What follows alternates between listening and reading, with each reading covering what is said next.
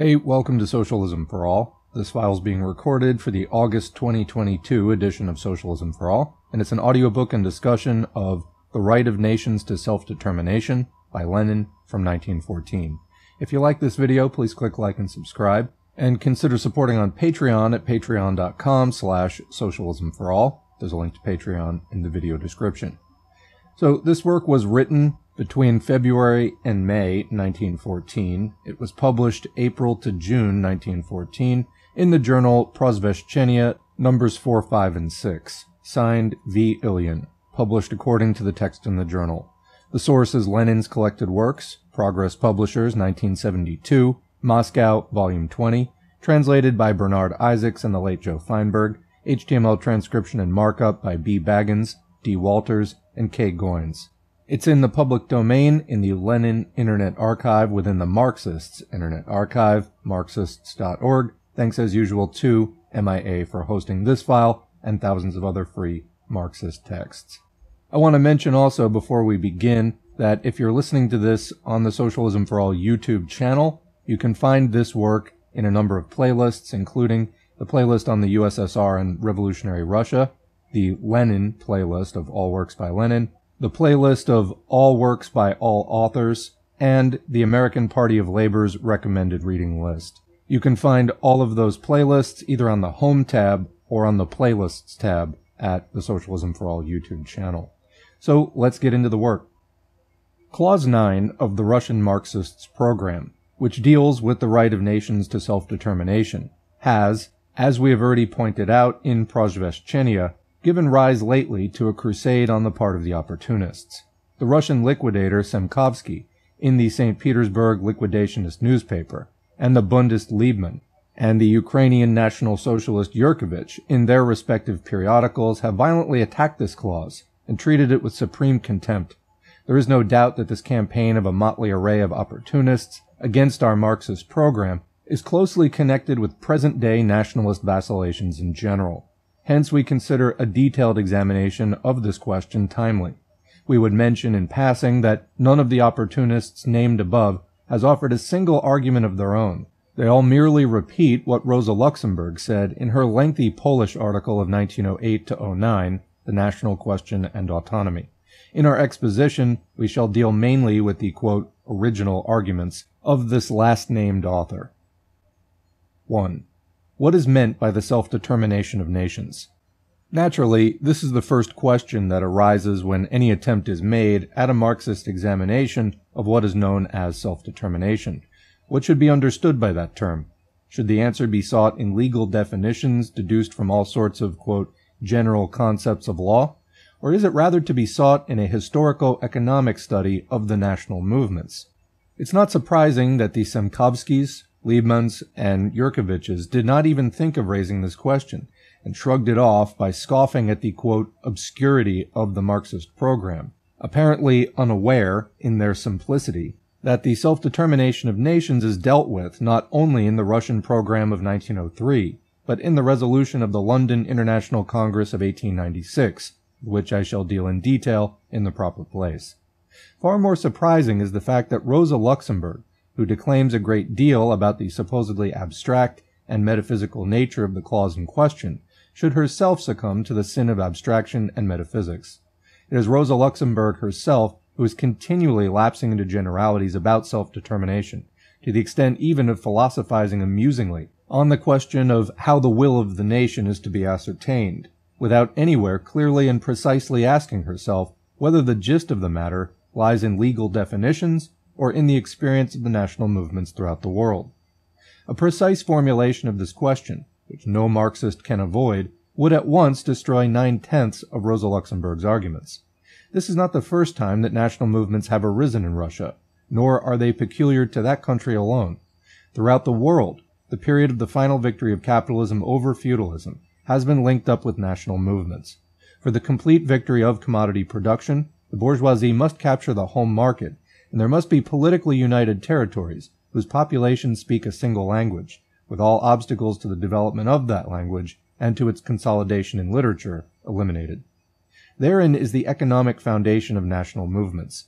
Language is the most important means of human intercourse.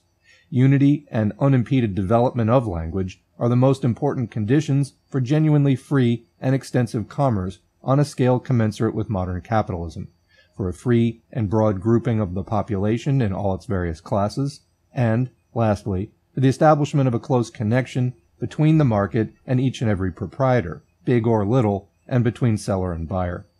Therefore, the tendency of every national movement is toward the formation of national states, under which these requirements of modern capitalism are best satisfied. The most profound economic factors drive toward this goal, and therefore for the whole of Western Europe, nay, for the entire civilized world, the national state is typical and normal for the capitalist period. Consequently, if we want to grasp the meaning of self-determination of nations, not by juggling with legal definitions or, quote, inventing abstract definitions, but by examining the historico-economic conditions of the national movements, we must inevitably reach the conclusion that the self-determination of nations means the political separation of these nations from alien national bodies, and the formation of an independent national state. Later on, we shall see still other reasons why it would be wrong to interpret the right to self-determination as meaning anything but the right to existence as a separate state. At present, we must deal with Rosa Luxemburg's efforts to, quote, dismiss the inescapable conclusion that profound economic factors underlie the urge towards a national state. Rosa Luxemburg is quite familiar with Kautsky's pamphlet, Nationality and Internationality, supplement to Die Neue Zeit, number 11, 1907 to 08. She is aware that after carefully analyzing the question of the national state in section 4 of that pamphlet, Kautsky arrived at the conclusion that Otto Bauer, quote, underestimates the strength of the urge towards the national state. Rosa Luxemburg herself quotes the following words of Kautsky's, quote, the national state is the form most suited to present day conditions, i.e. capitalist, civilized, economically progressive conditions, as distinguished from medieval, pre-capitalist, etc. It is the form in which the state can best fulfill its tasks, unquote, i.e. the tasks of securing the freest, widest, and speediest development of capitalism. To this, we must add Kautsky's still more precise concluding remark that states of mixed national composition, known as multinational states, as distinct from national states, are, quote, always those whose internal constitution has for some reason or other remained abnormal or underdeveloped, unquote, i.e. backward.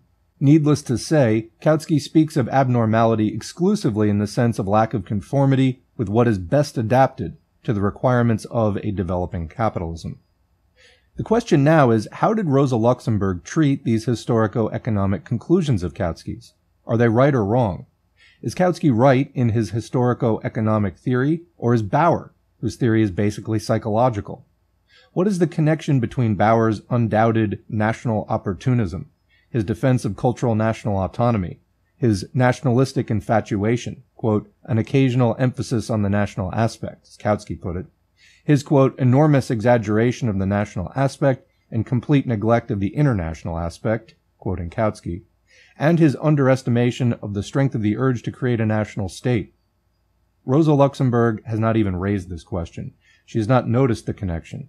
She has not considered the sum total of Bauer's theoretical views. She has not even drawn a line between the historico-economic and the psychological theories of the national question.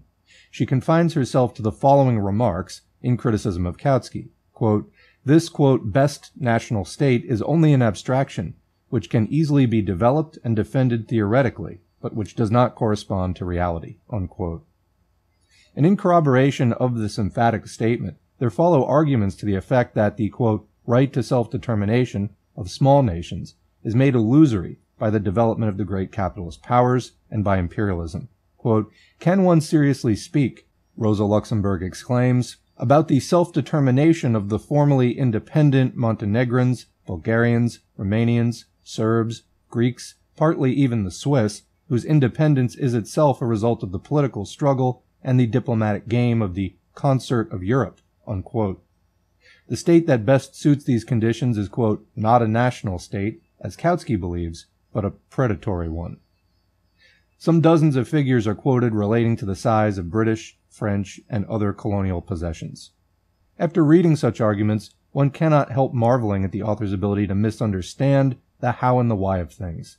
to teach Kautsky with a serious mien that small states are economically dependent on big ones, that a struggle is raging among the bourgeois states for the predatory suppression of other nations, and that imperialism and colonies exist.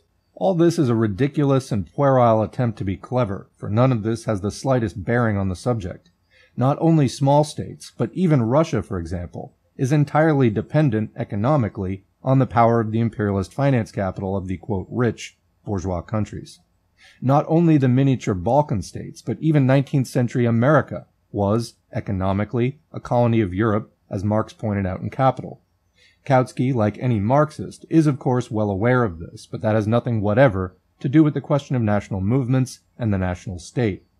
For the question of the political self-determination of nations and their independence as states in bourgeois society, Rosa Luxemburg has substituted the question of their economic independence. This is just as intelligent as if someone, in discussing the programmatic demand for the supremacy of parliament, i.e. the assembly of people's representatives, in a bourgeois state, were to expound the perfectly correct conviction that big capital dominates in a bourgeois country, whatever the regime in it. There is no doubt that the greater part of Asia, the most densely populated continent, consists either of colonies of the quote, great powers, or of states that are extremely dependent and oppressed as nations. But does this commonly known circumstance in any way shake the undoubted fact that in Asia itself, the conditions for the most complete development of commodity production and the freest, widest, and speediest growth of capitalism have been created only in Japan, i.e. only in an independent national state? The latter is a bourgeois state, and for that reason has itself begun to oppress other nations and to enslave colonies. We cannot say whether Asia will have had time to develop into a system of independent national states like Europe before the collapse of capitalism, but it remains an undisputed fact that capitalism, having awakened Asia, has called forth national movements everywhere in that continent too, that the tendency of these movements is toward the creation of national states in Asia, that it is such states that ensure the best conditions for the development of capitalism. The example of Asia speaks in favor of Kautsky and against Rosa Luxemburg. The example of the Balkan states likewise contradicts her, for anyone can now see that the best conditions for the development of capitalism in the Balkans are created precisely in proportion to the creation of independent national states in that peninsula. Therefore, Rosa Luxemburg notwithstanding, the example of the whole of progressive and civilized mankind the example of the Balkans and that of Asia, prove that Kautsky's proposition is absolutely correct. The national state is the rule and the norm of capitalism. The multinational state represents backwardness or is an exception. From the standpoint of national relations, the best conditions for the development of capitalism are undoubtedly provided by the national state. This does not mean, of course, that such a state, which is based on bourgeois relations, can eliminate the exploitation and oppression of nations. It only means that Marxists cannot lose sight of the powerful economic factors that give rise to the urge to create national states. It means that self-determination of nations in the Marxists' program cannot, from a historico-economic point of view, have any other meaning than political self-determination, state independence, and the formation of a national state. The conditions under which the bourgeois democratic demand for a national state should be supported from a Marxist, i.e. class proletarian point of view will be dealt with in detail below. For the present, we shall confine ourselves to the definition of the concept of self-determination and only note that Rosa Luxemburg knows what this concept means, national state, whereas her opportunist partisans, the Liebmans, the Semkovskys, the Yurkeviches, do not even know that. That's the end of section one. I just want to note here, if you haven't already read or listened to Stalin's Marxism and the National Question, which just went up here at the channel recently this week, um, definitely read that for more background on, I mean, this subject generally, but also specifically uh, the views of Bauer and others. Section 2. The historically concrete presentation of the question.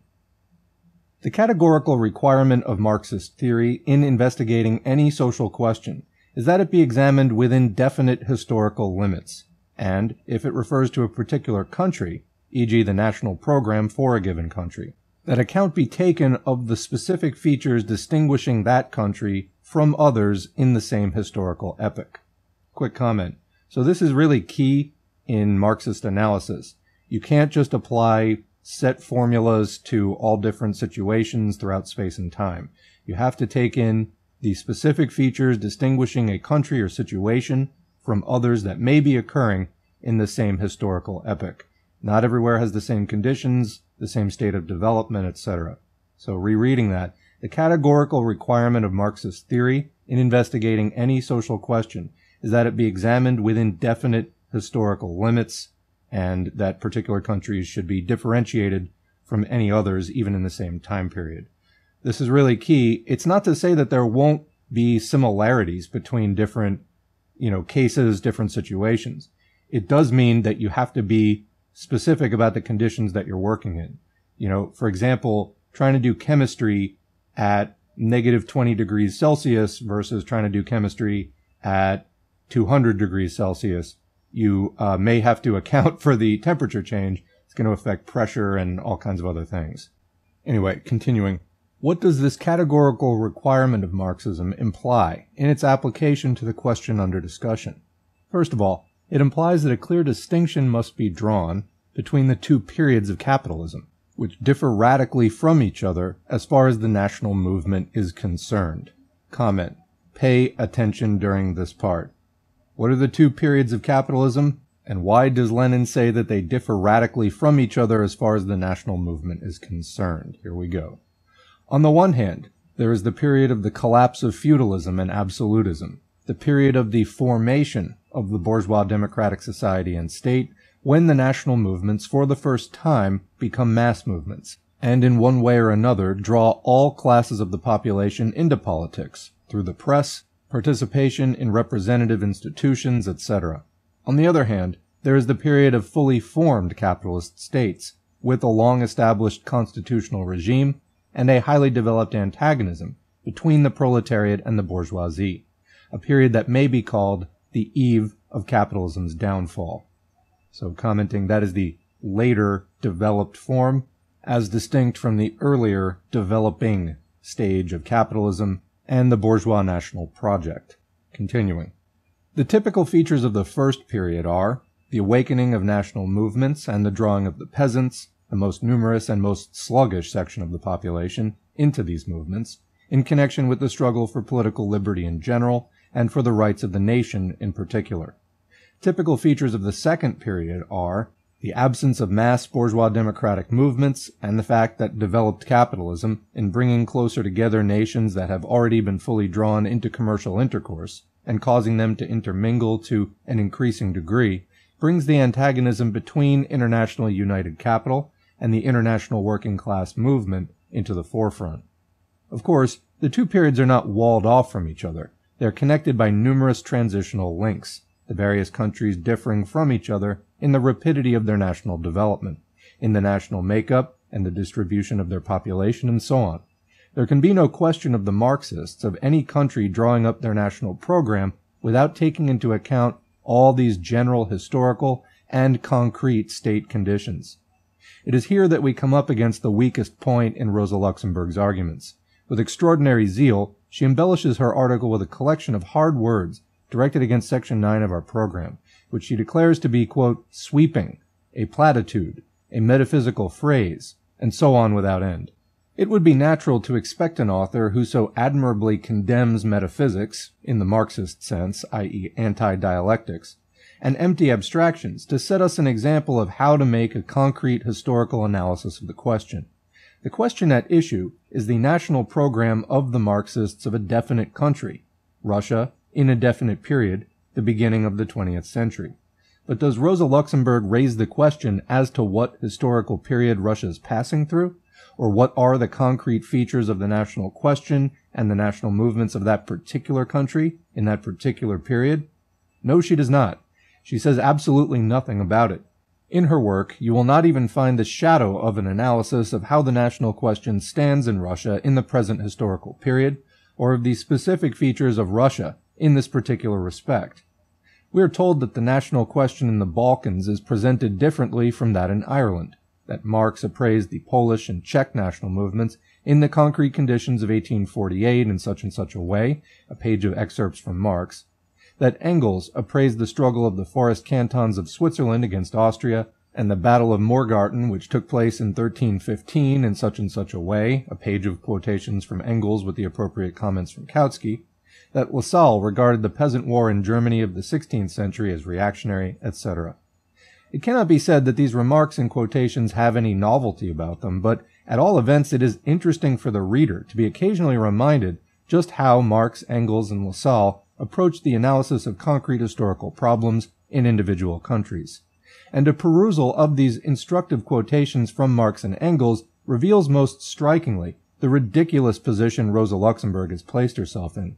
She preaches eloquently and angrily the need for a concrete historical analysis of the national question in different countries at different times, but she does not make the least attempt to determine what historical stage in the development of capitalism Russia is passing through at the beginning of the 20th century, or what the specific features of the national question in the country are. Rosa Luxemburg gives examples of how others have treated the question in a Marxist fashion, as if deliberately stressing how often the road to hell is paved with good intentions, and how often good counsel covers up unwillingness or inability to follow such advice in practice. Here is one of her edifying comparisons. In protesting against the demand for the independence of Poland, Rosa Luxemburg refers to a pamphlet she wrote in 1898, proving the rapid industrial development of Poland, with the latter's manufactured goods being marketed in Russia. Needless to say, no conclusion whatever can be drawn from this on the question of the right to self-determination. It only proves the disappearance of the old Poland of the landed gentry, etc. But Rosa Luxemburg always passes on imperceptibly to the conclusion that among the factors that unite Russia and Poland, the purely economic factors of modern capitalist relations now predominate. Then our Rosa proceeds to the question of autonomy, and though her article is entitled The National Question and Autonomy, in general, she begins to argue that the Kingdom of Poland has an exclusive right to autonomy. To support Poland's right to autonomy, Rosa Luxemburg evidently judges the state system of Russia by her economic, political, and sociological characteristics and everyday life, a totality of features which, taken together, produce the concept of Asiatic despotism. It is generally known that this kind of state system possesses great stability whenever completely patriarchal and pre-capitalist features predominate in the economic system, and where commodity production and class differentiation are scarcely developed. However, if in a country whose state system is distinctly pre-capitalist in character, there exists a nationally demarcated region where capitalism is rapidly developing, then the more rapidly that capitalism develops, the greater will be the antagonism between it and the pre-capitalist state system, and the more likely will be the separation of the progressive region from the whole, with which it is connected not by modern capitalistic, but by Asiatically despotic ties. Thus, Rosa Luxemburg does not get her arguments to hang together even on the question of the social structure of the government in Russia with regard to bourgeois Poland. As for the concrete, historical, specific features of the national movements in Russia, she does not even raise that question. That is a point we must now deal with. Section 3. The concrete features of the national question in Russia and Russia's bourgeois democratic reformation. Quote, Despite the elasticity of the principle of the right of nations to self-determination, which is a mere platitude, and obviously equally applicable not only to the nations inhabiting Russia, but also to the nations inhabiting Germany and Austria, Switzerland and Sweden, America and Australia, we do not find it in the programs of any of the present-day socialist parties." Unquote. This is how Rosa Luxemburg opens her attack upon Section 9 of the Marxist program, in trying to foist on us the conception that this clause in the program is a, quote, mere platitude. Rosa Luxemburg herself falls victim to this error, alleging with amusing boldness that this point is, quote, obviously equally applicable to Russia, Germany, etc. Obviously, we shall reply Rosa Luxemburg has decided to make her article a collection of errors in logic that could be used for schoolboy exercises. For Rosa Luxemburg's tirade is sheer nonsense, and a mockery of the historically concrete presentation of the question. If one interprets the Marxist program in Marxist fashion, not in a childish way, one will without difficulty grasp the fact that it refers to bourgeois democratic national movements. That being the case, it is, quote, obvious that this program sweepingly and as a quote mere platitude, etc., covers all instances of bourgeois democratic national movements. No less obvious to Rosa Luxemburg, if she gave the slightest thought to it, is the conclusion that our program refers only to cases where such a movement is actually in existence. Had she given thought to these obvious considerations, Rosa Luxemburg would have easily perceived what nonsense she was talking. In accusing us of uttering a platitude, she has used against us the argument that no mention is made of the right to self-determination in the programs of countries where there are no bourgeois democratic national movements. A remarkably clever argument. A comparison of the political and economic developments of various countries, as well as of their Marxist programs, is of tremendous importance from the standpoint of Marxism, for there can be no doubt that all modern states are of a common capitalist nature, and are therefore subject to a common law of development. But such a comparison must be drawn in a sensible way. The elementary condition for comparison is to find out whether the historical periods of development of the countries concerned are at all comparable. For instance, only absolute ignoramuses, such as Prince Y. Trubetskoy and Russkaya Mysl, are capable of comparing the Russian Marxist agrarian program with the programs of Western Europe, since our program replies to questions that concern the bourgeois democratic agrarian reform, whereas in the Western countries no such question arises. The same applies to the national question. In most Western countries it was settled long ago. It is ridiculous to seek an answer to non-existent questions in the programs of Western Europe. In this respect, Rosa Luxemburg has lost sight of the most important thing, the difference between countries, where bourgeois democratic reforms have long been completed and those where they have not. The crux of the matter lies in this difference. Rosa Luxemburg's complete disregard of it transforms her verbose article into a collection of empty and meaningless platitudes. The epoch of bourgeois democratic revolutions in Western, continental Europe embraces a fairly definite period, approximately between 1789 and 1871. This was precisely the period of national movements and the creation of national states. When this period drew to a close, Western Europe had been transformed into a settled system of bourgeois states, which, as a general rule, were nationally uniform states.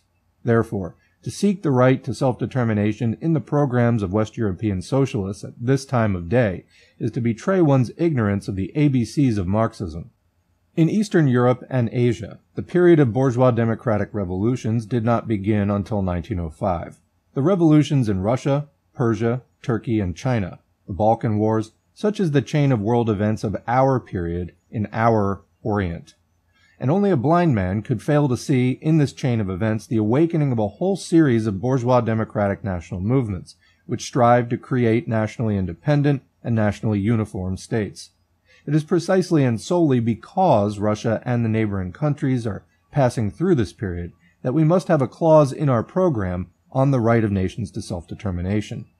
But let us continue the quotation from Rosa Luxemburg's article a little more. She writes, quote, in particular, the program of a party which is operating in a state with an extremely varied national composition, and for which the national question is a matter of first-rate importance, the program of the Austrian Social Democratic Party does not contain the principle of the right of nations to self-determination. Unquote. Thus, an attempt is made to convince the reader by the example of Austria in particular. Let us examine this example in the light of concrete historical facts and see just how sound it is. In the first place, let us pose the fundamental question of the completion of the bourgeois democratic revolution. In Austria, this revolution began in 1848 and was over in 1867. Since then, a more or less fully established bourgeois constitution has dominated for nearly half a century, and on its basis a legal workers' party is legally functioning. Therefore, in the internal conditions of Austria's development, i.e. from the standpoint of the development of capitalism in Austria in general, and among its various nations in particular, there are no factors that produce leaps and bounds, a concomitant of which might be the formation of nationally independent states in assuming, by her comparison, that Russia is in an analogous position in this respect, Rosa Luxemburg not only makes a fundamentally erroneous and anti-historical assumption, but also involuntarily slips into liquidationism. Second, the profound difference in the relations between the nationalities in Austria and those in Russia is particularly important for the question we are concerned with. Not only was Austria for a long time a state in which the Germans preponderated, but the Austrian Germans laid claim to hegemony in the German nation as a whole.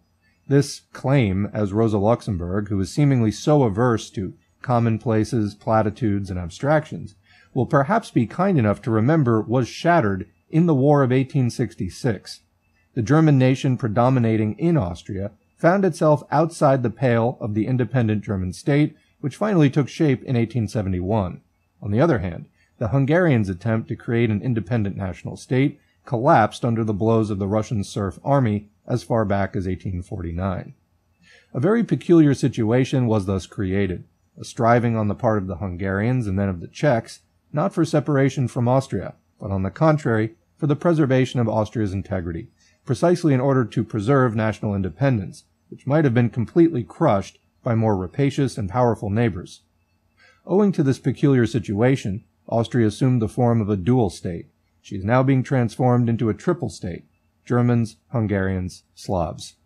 Is there anything like this in Russia? Is there in our country a striving of the quote, subject peoples, i.e., non Russians, for unity with the great Russians in face of the danger of worse national oppression? One need only pose this question in order to see that the comparison between Russia and Austria on the question of self-determination of nations is meaningless, platitudinous, and ignorant. The peculiar conditions in Russia with regard to the national question are just the reverse of those we see in Austria. Russia is a state with a single national center, Great Russia.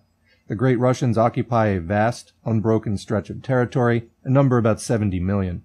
The specific features of this national state are, first, that quote, subject peoples, which on the whole comprise the majority of the entire population, 57%, inhabit the border regions. Secondly, the oppression of these subject peoples is much stronger here than in the neighboring states, and not even in the European states alone. Thirdly, in a number of cases, the oppressed nationalities inhabiting the border regions have compatriots across the border who enjoy greater national independence. Suffice it to mention the Finns, the Swedes, the Poles, the Ukrainians, and the Romanians along the western and southern frontiers of the state. Fourthly, the development of capitalism and the general level of culture are often higher in the non-Russian border regions than in the center. Lastly, it is in the neighboring Asian states that we see the beginning of a phase of bourgeois revolutions and national movements, which are spreading to some of the kindred nationalities within the borders of Russia.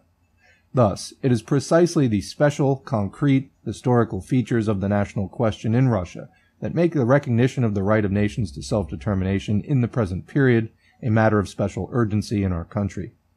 Incidentally, even from the purely factual angle, Rosa Luxemburg's assertion that the Austrian Social Democrats' program does not contain any recognition of the right of nations to self-determination is incorrect.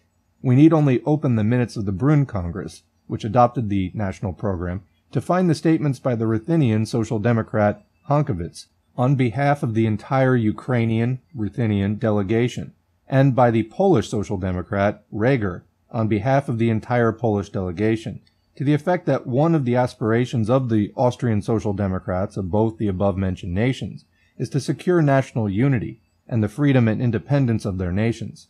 Hence, while the Austrian Social Democrats did not include the right of nations to self-determination directly in their program, they did nevertheless allow the demand for national independence to be advanced by sections of the party. In effect, this means, of course, the recognition of the right of nations to self-determination. Thus, Rosa Luxemburg's reference to Austria speaks against Rosa Luxemburg in all respects. Section 4. Practicality in the national question. Rosa Luxemburg's argument that Section 9 of our program contains nothing, quote, practical has been seized upon by the opportunists. Rosa Luxemburg is so delighted with this argument that in some parts of her article, this slogan is repeated eight times on a single page. She writes, Section 9, quote, gives no practical lead on the day-by-day policy of the proletariat, no practical solution of national problems. Let us examine this argument, which elsewhere is formulated in such a way that it makes Section 9 look quite meaningless, or else commits us to support all national aspirations. What does the demand for practicality in the national question mean? It means one of three things. Support for all national aspirations, the answer yes or no to the question of secession by any nation, or that national demands are in general immediately practicable. Let us examine all three possible meanings of the demand for, quote, practicality. The bourgeoisie, which naturally assumes the leadership at the start of every national movement, says that support for all national aspirations is practical. However, the proletariat's policy in the national question, as in all others, supports the bourgeoisie only in a certain direction, but it never coincides with the bourgeoisie's policy. The working class supports the bourgeoisie only in order to secure national peace, which the bourgeoisie cannot bring about completely and which can be achieved only with complete democracy. In order to secure equal rights and to create the best conditions for the class struggle. Therefore, it is in opposition to the practicality of the bourgeoisie that the proletarians advance their principles in the national question. They always give the bourgeoisie only conditional support. What every bourgeoisie is out for in the national question is either privileges for its own nation or exceptional advantages for it. This is called being practical. The proletariat is opposed to all privileges, to all exclusiveness. To demand that it should be practical means following the lead of the bourgeoisie, falling into opportunism. The demand for a yes or no reply to the question of secession in the case of every nation may seem a very practical one, but in reality it is absurd. It is metaphysical in theory, while in practice it leads to subordinating the proletariat to the bourgeoisie's policy. The bourgeoisie always places its national demands in the forefront, and does so in categorical fashion. With the proletariat, however, these demands are subordinated to the interests of the class struggle. Theoretically, you cannot say in advance whether the bourgeois democratic revolution will end in a given nation seceding from another nation, or in its equality with the latter. In either case, the important thing for the proletariat is to ensure the development of its class. For the bourgeoisie, it is important to hamper this development by pushing the aims of its, quote, own nation before those of the proletariat. That is why the proletariat confines itself, so to speak, to the negative demand for recognition of the right to self-determination, without giving specific guarantees to any nation, and without undertaking to give anything at the expense of another nation. This may not be, quote, practical, but it is in effect the best guarantee for the achievement of the most democratic of all possible solutions. The proletariat needs only such guarantees, whereas the bourgeoisie of every nation requires guarantees for its own interest, regardless of the position of or the possible disadvantages to other nations. The bourgeoisie is most of all interested in the feasibility of a given demand, hence the invariable policy of coming to terms with the bourgeoisie of other nations to the detriment of the proletariat. For the proletariat, however, the important thing is to strengthen its class against the bourgeoisie, and to educate the masses in the spirit of consistent democracy and socialism. This may not be practical as far as the opportunists are concerned, but it is the only real guarantee, the guarantee of the greater national equality and peace, despite the feudal landlords and the nationalist bourgeoisie. The whole task of the proletarians in the national question is unpractical from the standpoint of the nationalist bourgeoisie of every nation, because the proletarians, opposed as they are to nationalism of every kind, demand abstract equality. They demand as a matter of principle that there should be no privileges, however slight. Failing to grasp this, Rosa Luxemburg, by her misguided eulogy of practicality, has opened the door wide for the opportunists, and especially for opportunist concessions to Great Russian nationalism. Why Great Russian? Because the Great Russians in Russia are an oppressor nation, and opportunism in the national question will of course find expression among oppressed nations otherwise than among oppressor nations on the plea that its demands are practical. The bourgeoisie of the oppressed nations will call upon the proletariat to support its aspirations unconditionally. The most practical procedure is to say a plain yes in favor of the secession of a particular nation, rather than in favor of all nations having the right to secede. The proletariat is opposed to such practicality. While recognizing equality and equal rights to a national state, it values above all and places foremost the alliance of the proletarians of all nations, and it assesses any national demand, any national separation, from the angle of the workers' class struggle. This call for practicality is in fact merely a call for uncritical acceptance of bourgeois aspirations. By supporting the right to secession, we are told, you're supporting the bourgeois nationalism of the oppressed nations. This is what Rosa Luxemburg says, and she's echoed by Semkovsky, the opportunist. who incidentally is the only representative of liquidationist ideas on this question in the liquidationist newspaper. Our reply to this is, no, it is to the bourgeoisie that a practical solution of this question is important. To the workers, the important thing is to distinguish the principles of the two trends. Insofar as the bourgeoisie of the oppressed nation fights the oppressor, we are always, in every case, and more strongly than anyone else, in favor, for we are the staunchest and the most consistent enemies of oppression. But insofar as the bourgeoisie of the oppressed nation stands for its own bourgeois nationalism, we stand against. We fight against the privileges and violence of the oppressor nation, and we do not in any way condone strivings for privileges on the part of the oppressed nation. If, in our political agitation, we fail to advance and advocate the slogan of the right to secession, we shall play into the hands not only of the bourgeoisie, but also of the feudal landlords, and the absolutism of the oppressor nation. Kautsky long ago used this argument against Rosa Luxemburg, and the argument is indisputable. When, in her anxiety not to assist the nationalist bourgeoisie of Poland, Rosa Luxemburg rejects the right to secession in the program of the Marxists in Russia, she is in fact assisting the Great Russian Black Hundreds. She is in fact assisting opportunist tolerance of the privileges, and worse than privileges, of the Great Russians. Carried away by the struggle against nationalism in Poland, Rosa Luxemburg has forgotten the nationalism of the Great Russians, although it is this nationalism that is the most formidable at the present time. It's a nationalism that is more feudal than bourgeois, and is the principal obstacle to democracy and to the proletarian struggle. The bourgeois nationalism of any oppressed nation has a general democratic content that is directed against oppression, and it is this content that we unconditionally support. At the same time, we strictly distinguish it from the tendency toward national exclusiveness. We fight against the tendency of the Polish bourgeois to oppress the Jews, etc., etc. This is unpractical from the standpoint of the bourgeois and the Philistine, but it's the only policy in the national question that is practical based on principles and really promotes democracy, liberty, and proletarian unity. The recognition of the right to secession for all the appraisal of each concrete question of secession from the point of view of removing all inequality, all privileges, and all exclusiveness. Let us consider the position of an oppressor nation. Can a nation be free if it oppresses other nations? It cannot. The interests of the freedom of the great Russian population require a struggle against such oppression. The long, centuries old history of the suppression of the movements of the oppressed nations and the systematic propaganda in favor of such suppression coming from the upper classes have created enormous obstacles to the cause of freedom of the great Russian people itself, in the form of prejudices, etc. The great Russian black hundreds deliberately foster these prejudices and encourage them. The great Russian bourgeoisie tolerates or condones them.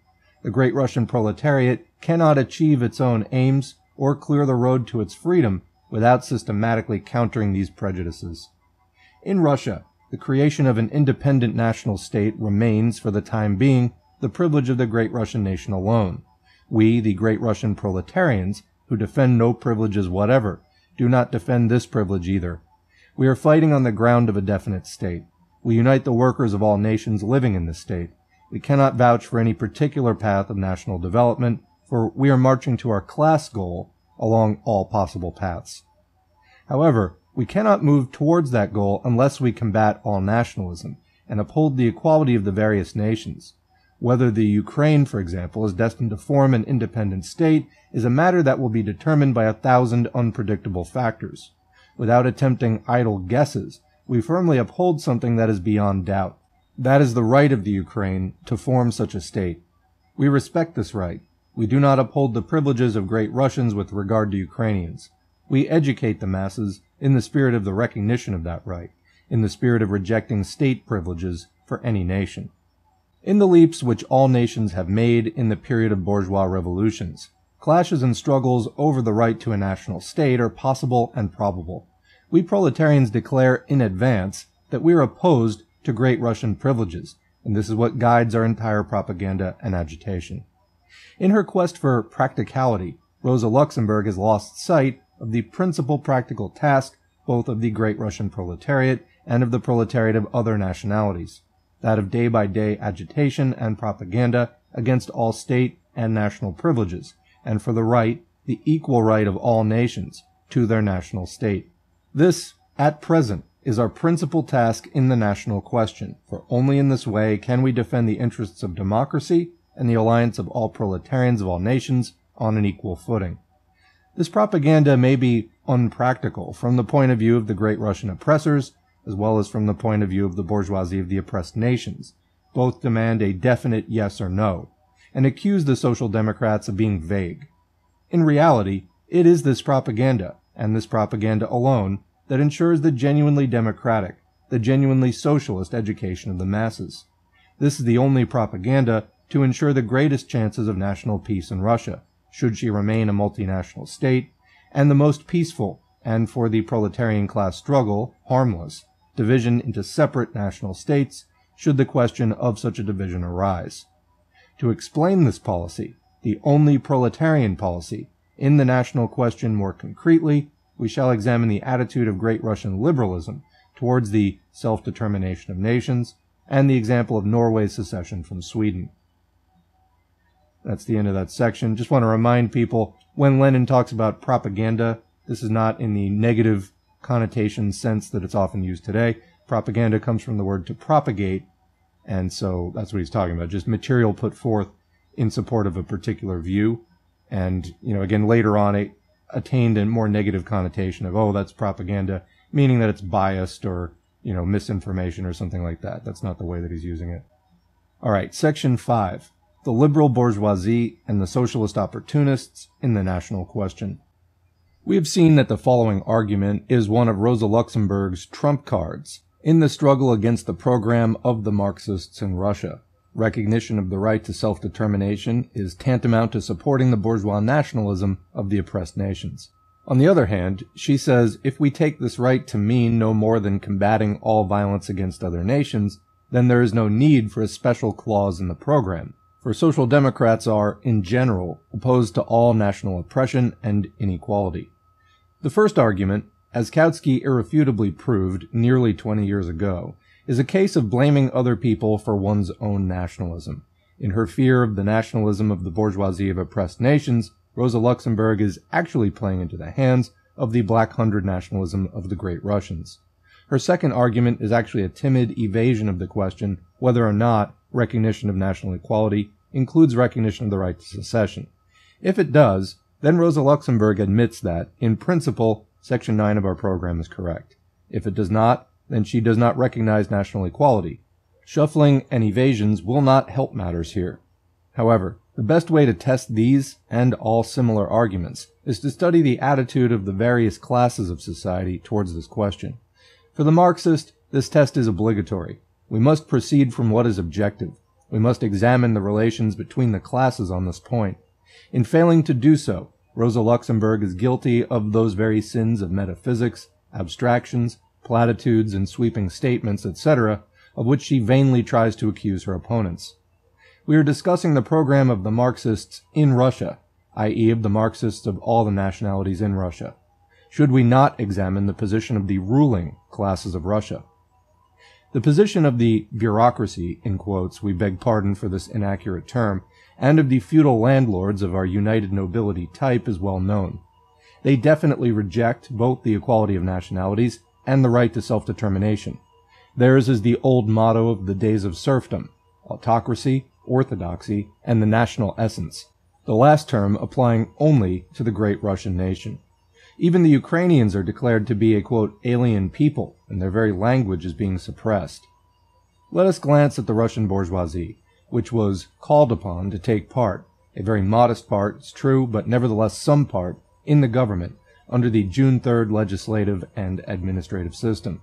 It will not need many words to prove that the Octoberists are following the rights in this position. That would be rights with a capital R, as in the political faction. Unfortunately, some Marxists pay much less attention to the stand of the great Russian liberal bourgeoisie, the progressists, and the cadets. Yet he who fails to study that stand and give it careful thought will inevitably flounder in abstractions and groundless statements in discussing the question of the right of nations to self-determination. skilled though it is in the art of diplomatically evading direct answers to unpleasant questions, Rech, the principal organ of the Constitutional Democratic Party, was compelled, in its controversy with Pravda last year, to make certain valuable admissions. The trouble started over the All Ukraine Students' Congress held in Lvov in the summer of 1913. Footnote, this refers to the second All Ukraine Students' Congress held in Lvov on June 19 to 22, 1913, to coincide with anniversary celebrations in honor of Ivan Franko, the last great Ukrainian writer, scholar, public figure, and revolutionary democrat. A report, The Ukrainian Youth and the Present Status of the Nations, was made at the Congress by the Ukrainian Social Democrat Dontsov, who supported the slogan of a quote, independent Ukraine. Back to the text. Mr. Mogilyansky, the quote, Ukrainian expert or Ukrainian correspondent of Rech, wrote an article in which he poured vitriolic abuse, ravings, adventurism, etc., on the idea that the Ukraine should secede, an idea which Dontsov, a nationalist socialist, had advocated and the above mentioned Congress approved. While in no way identifying himself with Mr. Dontsov, and declaring explicitly that he was a nationalist socialist and that many Ukrainian Marxists did not agree with him, Rabotchaya Pravda stated that the tone of Rech, or rather the way it formulated the question in principle, was improper and reprehensible for a great Russian Democrat, or for anyone desiring to pass as a Democrat. Let Rech repudiate the Dontsovs if it likes, but from the standpoint of principle, a great Russian organ of democracy, which it claims to be, cannot be oblivious of the freedom to secede, the right to secede. A few months later, Rech, issue number 331, published an explanation from Mr. Mogilyansky, who had learned from the Ukrainian newspaper Shlyakhi, published in Lvov, of Mr. Dontsov's reply, in which incidentally Dontsov stated that, quote, the chauvinist attacks in Rech have been properly sullied, branded, only in the Russian Social Democratic press, unquote. This explanation consisted of the thrice repeated statement that, quote, criticism of Mr. Dontsov's recipes, quote, has nothing in common with the repudiation of the right of nations to self-determination. Quote, it must be said, wrote Mr. Mogilyansky, that even the right of nations to self-determination is not a fetish beyond criticism. Unwholesome conditions in the life of nations may give rise to unwholesome tendencies in national self-determination. And the fact that these are brought to light does not mean that the right of nations to self-determination has been rejected. Unquote. As you see, this liberal's talk of a fetish was quite in keeping with Rosa Luxemburg's. It was obvious that Mr. Mogilyansky was trying to evade a direct reply to the question whether or not he recognized the right to political self-determination, i.e. to secession. The newspaper Proletarskaya Pravda, issue number 4, for December 11, 1913, also put this question point blank to Mr. Mogilyansky and to the Constitutional Democratic Party. Thereupon, Rech number 340 published an unsigned, i.e., unofficial editorial statement replying to this question. This reply boils down to the following three points. 1. Section 11 of the Constitutional Democratic Party's program speaks bluntly, precisely, and clearly of the right of nations to free cultural self-determination. 2. Rech affirms that Proletarskaya Pravda, quote, hopelessly confuses self-determination with separatism, with the secession of a given nation. 3. Quote, actually, the cadets have never pledged themselves to advocate the right of nations to secede from the Russian state. Let us first consider the second point in the Rech statement, how strikingly it shows to the Semkovskys, Liebmans, Yurkeviches, and other opportunists that the hue and cry that they have raised about the alleged vagueness or indefiniteness of the term self-determination is in fact, from the standpoint of objective class relationships and the class struggle in Russia, simply a rehash of the liberal monarchist bourgeoisie's utterances. Proletarskaya Pravda put the following three questions to the enlightened constitutional democratic gentlemen of Rech. 1. Do they deny that throughout the entire history of international democracy, and especially since the middle of the 19th century, self-determination of nations has been understood to mean precisely political self-determination, the right to form an independent national state. 2. Do they deny that the well-known resolution adopted by the International Socialist Congress in London in 1896 has the same meaning? And 3. Do they deny that Plekhanov, in writing about self-determination as far back as 1902, meant precisely political self-determination. When Proletarskaya Pravda posed these three questions, the cadets fell silent. Not a word did they utter in reply, for they had nothing to say. Had to admit tacitly that Proletarskaya Pravda was absolutely right. The liberals' outcries that the term self-determination is vague, and that the Social Democrats hopelessly confuse it with separatism are nothing more than attempts to confuse the issue and evade recognition of a universally established democratic principle. If the Semkovskys, Liebmans, and Yurkeviches were not so ignorant, they would be ashamed to address the workers in a liberal vein. But to proceed, Proletarskaya Pravda compelled Rech to admit that, in the program of the Constitutional Democrats, the term cultural self-determination means in effect the repudiation of political self-determination. Quote, Actually, the cadets have never pledged themselves to advocate the right of nations to secede from the Russian state. Unquote. It was not without reason that Proletarskaya Pravda recommended to Novoye Vremya and Zemshchina these words from Rech as an example of our cadets' quote, loyalty. In its issue number 13563, Novoye Vremya, which never, of course, misses an opportunity of mentioning, quote, the Yids and taking digs at the cadets, nevertheless stated, quote, what to the Social Democrats is an axiom of political wisdom, i.e. the right of the nations to self-determination, to secede, is today beginning to cause disagreement even among the cadets, unquote. By declaring that they, quote, have never pledged themselves to advocate the right of nations to secede from the Russian state, the cadets have in principle taken exactly the same stand as Novoye Vremya. This is precisely one of the fundamentals of cadet national liberalism, of their kinship with the Purishkeviches, and of their dependence, political, ideological, and practical, on the latter. Proletarskaya Pravda wrote, quote, The cadets have studied history and know only too well what, to put it mildly, pogrom-like actions the practice of the ancient right of the Purishkeviches to grab 'em and hold 'em has often led to. Unquote.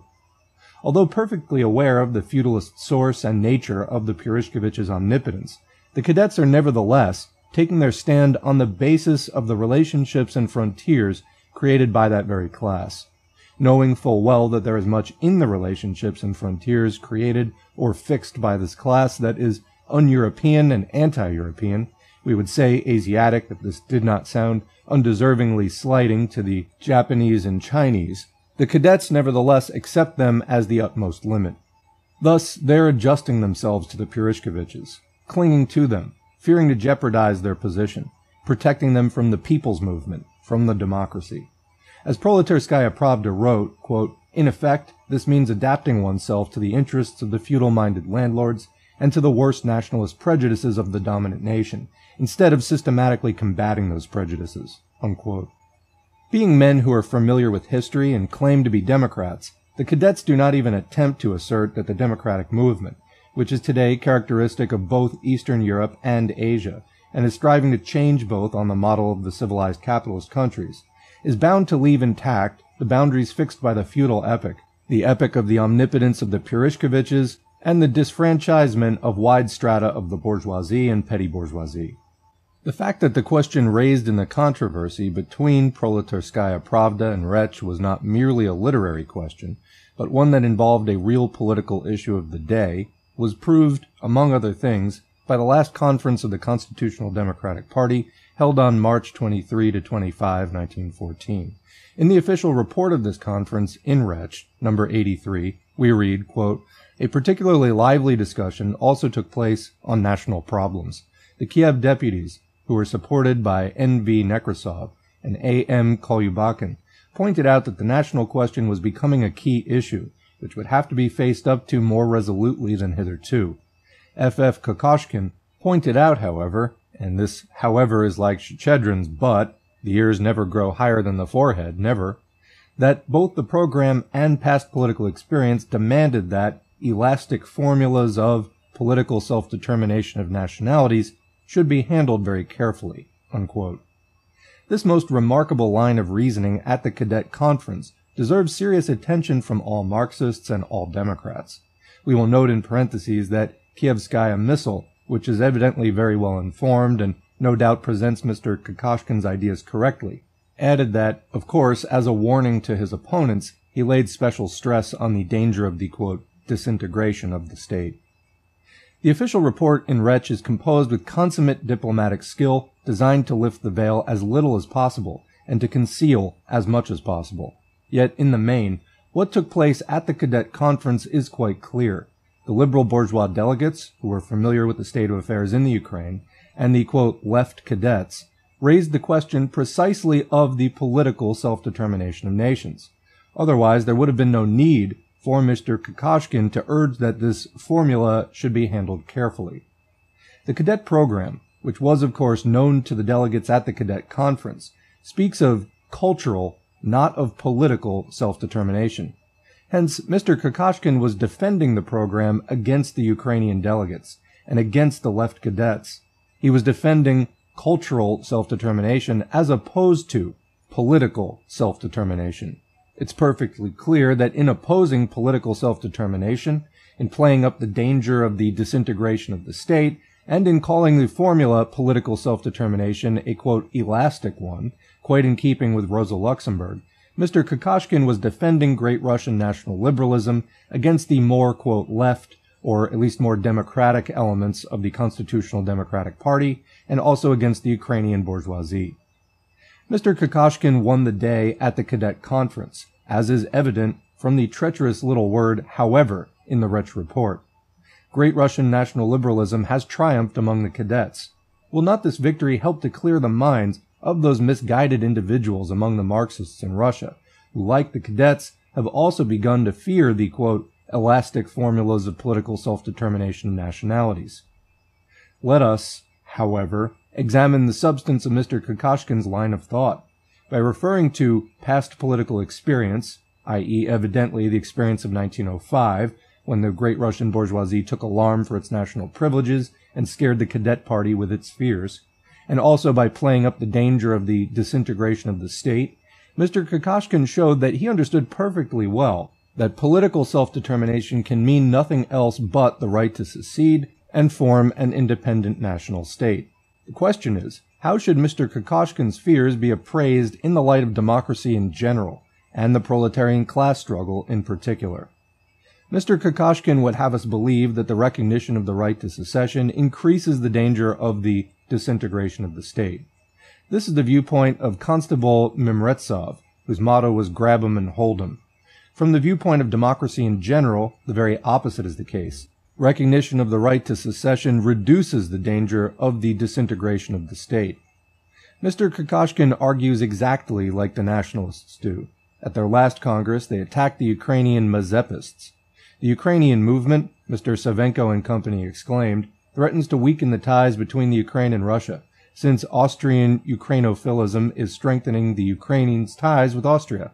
It remains unexplained why Russia cannot try to strengthen her ties with the Ukrainians through the same method that the Savenkos blame Austria for using, i.e. by granting the Ukrainians freedom to use their own language, self-government, and an autonomous diet. The arguments of the Savenkos and Kokoshkins are exactly alike, and from the purely logical point of view, they're equally ridiculous and absurd. Is it not clear that the more liberty the Ukrainian nationality enjoys in any particular country, the stronger its ties with that country will be. One would think that this truism could not be disputed without totally abandoning all the premises of democracy. Can there be greater freedom of nationality, as such, than the freedom to secede, the freedom to form an independent national state? To clear up this question, which has been so confused by the liberals and by those who are so misguided as to echo them, we shall cite a very simple example. Let us take the question of divorce, in her article, Rosa Luxemburg writes that the centralized democratic state, while conceding autonomy to its constituent parts, should retain the most important branches of legislation, including legislation on divorce, under the jurisdiction of the central parliament. The concern that the central authority of the democratic state should retain the power to allow divorce can be readily understood. The reactionaries are opposed to freedom of divorce. They say that it must be handled carefully, and loudly declare that it means the disintegration of the family. The Democrats, however, believe that the reactionaries are hypocrites, and that they are actually defending the omnipotence of the police and the bureaucracy, the privileges of one of the sexes, and the worst kind of oppression of women. They believe that in actual fact, freedom of divorce will not cause the disintegration of family ties, but on the contrary will strengthen them on a democratic basis, which is the only possible and durable basis in civilized society. To accuse those who support freedom of self-determination, i.e. freedom to secede, of encouraging separatism is as foolish and hypocritical as accusing those who advocate freedom of divorce of encouraging the destruction of family ties. Just as in bourgeois society, the defenders of privilege and corruption, on which bourgeois marriage rests, oppose freedom of divorce, so in the capitalist state, repudiation of the right to self-determination, i.e. the right of nations to secede, means nothing more than defense of the privileges of the dominant nation and police methods of administration, to the detriment of democratic methods. No doubt, the political chicanery arising from all the relationships existing in capitalist society sometimes leads members of parliament and journalists to indulge in frivolous and even nonsensical twaddle about one or another nation seceding. But only reactionaries can allow themselves to be frightened or pretend to be frightened by such talk. Those who stand by democratic principles, i.e., who insist that questions of state be decided by the mass of the population, know very well that there is a tremendous distance between what the politicians prate about and what the people decide. From their daily experience, the masses know perfectly well the value of geographical and economic ties and the advantages of a big market and a big state. They will, therefore, resort to secession only when national oppression and national friction make joint life absolutely intolerable and hinder any and all economic intercourse. In that case, the interest of capitalist development and the freedom of the class struggle will be best served by secession. Thus, from whatever angle we approach Mr. Kokoshkin's arguments, they prove to be the height of absurdity and a mockery of the principles of democracy. And yet, there is a modicum of logic in these arguments, the logic of the class interests of the great Russian bourgeoisie. Like most members of the Constitutional Democratic Party, Mr. Kokoshkin is a lackey of the money bags of that bourgeoisie. He defends its privileges in general and its state privileges in particular. He defends them hand in hand and shoulder to shoulder with Purishkevich, the only difference being that Purishkevich puts more faith in the feudalist cudgel, while Kokoshkin and company realize that this cudgel was badly damaged in 1905, and rely more on bourgeois methods of fooling the masses, such as frightening the petty bourgeoisie and the peasants with the specter of the disintegration of the state, and deluding them with phrases about blending people's freedom with historical tradition, etc.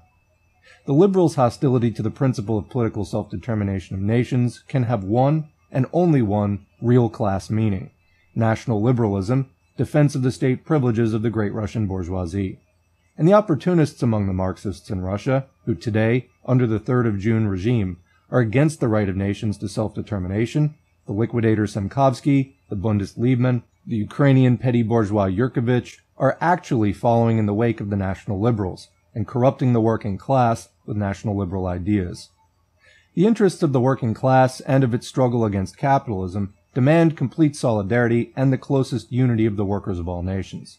They demand resistance to the nationalist policy of the bourgeoisie of every nationality. Hence, social democrats would be deviating from proletarian policy and subordinating the workers to the policy of the bourgeoisie if they were to repudiate the right of nations to self-determination, i.e. the right of an oppressed nation to secede, or if they were to support all the national demands of the bourgeoisie of oppressed nations. It makes no difference to the hired worker whether he is exploited chiefly by the great Russian bourgeoisie rather than the non-Russian bourgeoisie, or by the Polish bourgeoisie rather than by the Jewish bourgeoisie, etc. The hired worker who has come to understand his class interests is equally indifferent to the state privileges of the great Russian capitalists and to the promises of the Polish or Ukrainian capitalists to set up an earthly paradise when they obtain state privileges. Capitalism is developing and will continue to develop anyway, both in integral states with a mixed population and in separate national states. In any case, the hired worker will be an object of exploitation. Successful struggle against exploitation requires that the proletariat be free of nationalism and be absolutely neutral, so to speak, in the fight for supremacy that is going on among the bourgeoisie of the various nations. If the proletariat of any one nation gives the slightest support to the privileges of its quote, own national bourgeoisie, that will inevitably rouse distrust among the proletariat of another nation. It will weaken the international class solidarity of the workers and divide them to the delight of the bourgeoisie. Repudiation of the right to self-determination or to secession inevitably means, in practice, support for the privileges of the dominant nation. We will get even more striking confirmation of this if we take the concrete case of Norway's secession from Sweden. So this is section 6, Norway's secession from Sweden. Rosa Luxemburg cites precisely this example and discusses it as follows. Quote, the latest event in the history of federative relations, the secession of Norway from Sweden, which at the time was hastily seized upon by the social patriotic Polish press, see the Krakow Naprozad, Forward, central organ of the Social Democratic Party of Galicia and Silesia, published in Krakow beginning 1892, described by Lenin as, quote, a very bad and not at all Marxist organ, continuing, as a gratifying sign of the strength and progressive nature of the tendency toward state secession, at once providing striking proof that federalism and its concomitant separation are in no way an expression of progress or democracy. After the so-called Norwegian Revolution, which meant that the Swedish king was deposed and compelled to leave Norway, Norwegians coolly proceeded to choose another king, formally rejecting, by a national referendum, the proposal to establish a republic.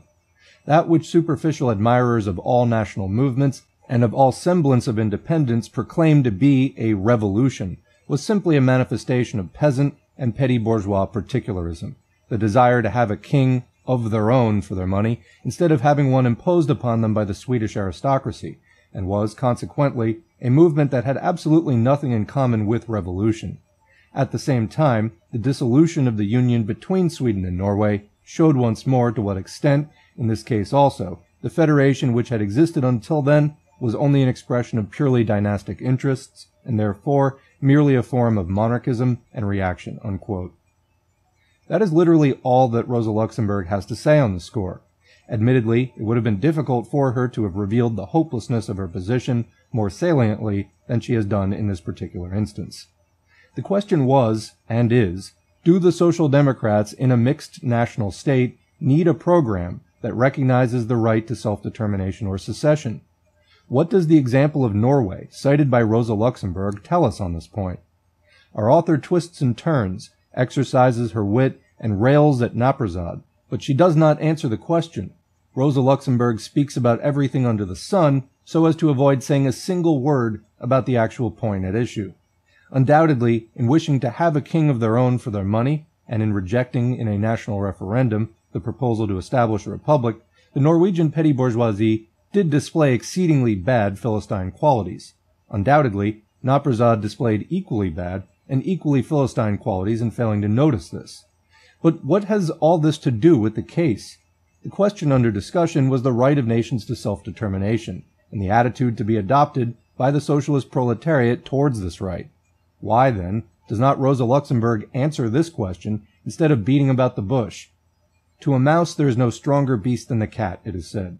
To Rosa Luxemburg, there's evidently no stronger beast than the Frasi. Frasi is the popular term for the Polish Socialist Party, its so-called revolutionary section, and the Krakow newspaper Naprozad shares the views of that section. Rosa Luxemburg is so blinded by her fight against the nationalism of that section that she loses sight of everything except Naprozad. If Naprozad says yes, Rosa Luxemburg considers it her sacred duty to say an immediate no, without stopping to think that by so doing she does not reveal independence of Naprozad, but on the contrary, her ludicrous dependence on the Frasi, and her inability to see things from a viewpoint any deeper and broader than that of the Krakow anthill. Naprozad, of course, is a wretched and by no means Marxist organ, but that should not prevent us from properly analyzing the example of Norway, once we have chosen it. To analyze this example in Marxist fashion, we must deal not with the vices of the awfully terrible Frasi, but first with the concrete historical features of the secession of Norway from Sweden, and secondly, with the tasks which confronted the proletariat of both countries in connection with the secession. The geographic, economic, and language ties between Norway and Sweden are as intimate as those between the Great Russians and many other Slav nations. But the union between Norway and Sweden was not a voluntary one, and in dragging in the question of federation, Rosa Luxemburg was talking at random, simply because she did not know what to say, Norway was ceded to Sweden by the monarchs during the Napoleonic Wars, against the will of the Norwegians, and the Swedes had to bring troops into Norway to subdue her. Despite the very extensive autonomy which Norway enjoyed, having its own parliament, etc., There was constant friction between Norway and Sweden for many decades after the Union, and the Norwegians strove hard to throw off the yoke of the Swedish aristocracy. At last, in August 1905, they succeeded. The Norwegian parliament resolved that the Swedish king was no longer king of Norway, and in the referendum held later among the Norwegian people, the overwhelming majority, about 200,000 as against a few hundred, voted for complete separation from Sweden. After a short period of indecision, the Swedes resigned themselves to the fact of secession. This example shows us on what grounds cases of the secession of nations are practicable and actually occur under modern economic and political relationships, and the form secession sometimes assumes under conditions of political freedom and democracy.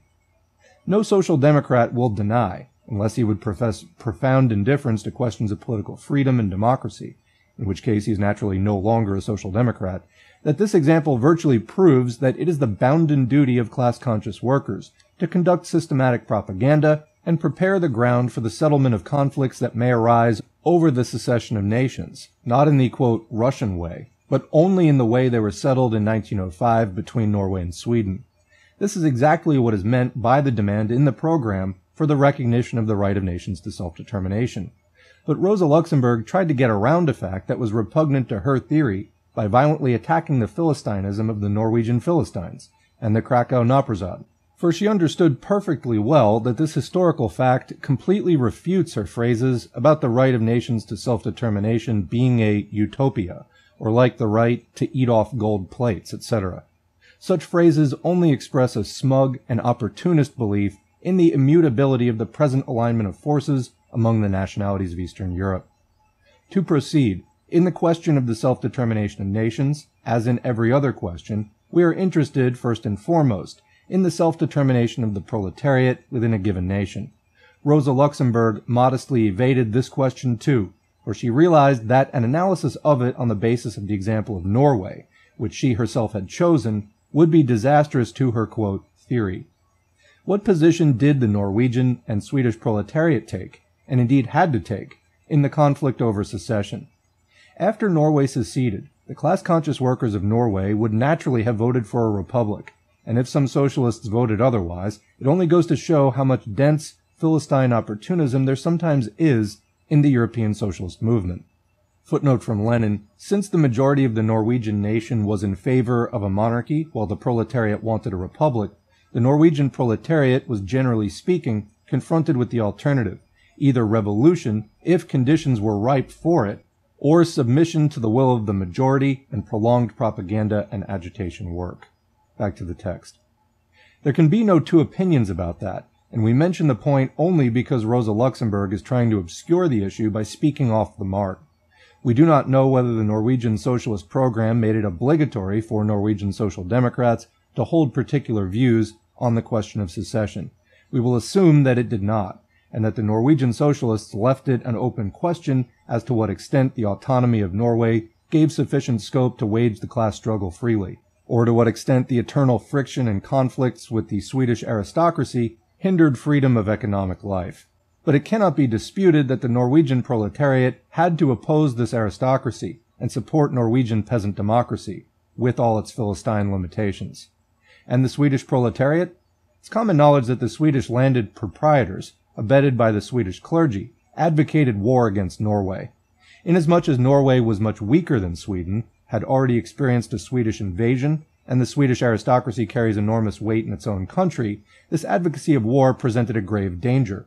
We may be sure that the Swedish Kokoshkins spent much time and energy in trying to corrupt the minds of the Swedish people by appeals to, quote, handle the, quote, elastic formulas of political self-determination of nations carefully, by painting horrific pictures of the danger of the disintegration of the state, and by assuring them that people's freedom was compatible with the traditions of the Swedish aristocracy. There cannot be the slightest doubt that the Swedish Social Democrats would have betrayed the cause of socialism and democracy if they had not fought with all their might to combat both the landlord and the Kokoshkin ideology and policy, and if they had failed to demand not only equality of nations in general, to which the Kokoshkins also subscribe, but also the right of nations to self-determination, Norway's freedom to secede. The close alliance between the Norwegian and Swedish workers, their complete fraternal class solidarity, gained from the Swedish workers' recognition of the right of the Norwegians to secede. This convinced the Norwegian workers that the Swedish workers were not infected with Swedish nationalism, and that they placed fraternity with the Norwegian proletarians above the privileges of the Swedish bourgeoisie and aristocracy. The dissolution of the ties imposed upon Norway by the monarchs of Europe and the Swedish aristocracy strengthened the ties between the Norwegian and Swedish workers. The Swedish workers have proved that in spite of all the vicissitudes of bourgeois policy, Bourgeois relations may quite possibly bring about a repetition of the forcible subjection of the Norwegians to the Swedes, they will be able to preserve and defend the complete equality and class solidarity of the workers of both nations in the struggle against both the Swedish and the Norwegian bourgeoisie.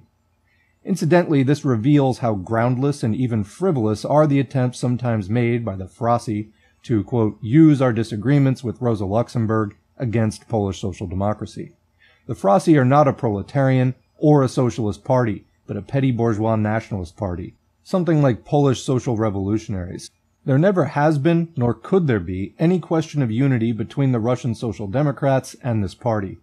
On the other hand, no Russian Social Democrat has ever repented of the close relations and unity that have been established with the Polish Social Democrats.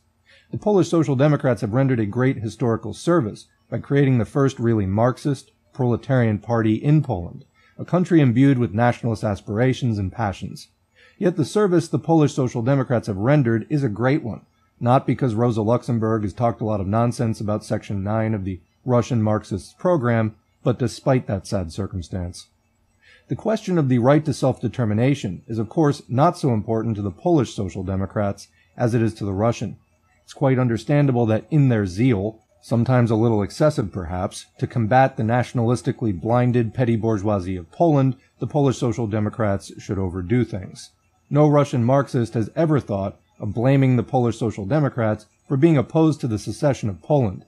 These Social Democrats err only when, like Rosa Luxemburg, they try to deny the necessity of including the recognition of the right to self-determination in the program of the Russian Marxists. Virtually, this is like attempting to apply relationships, understandable by Krakow standards, to all the peoples and nations inhabiting Russia, including the great Russians. It means being Polish nationalists the wrong way round, not Russian, not international social democrats. For international social democracy stands for the recognition of the right of nations to self-determination. This is what we shall now proceed to discuss. Section 7 the resolution of the London International Congress, 1896.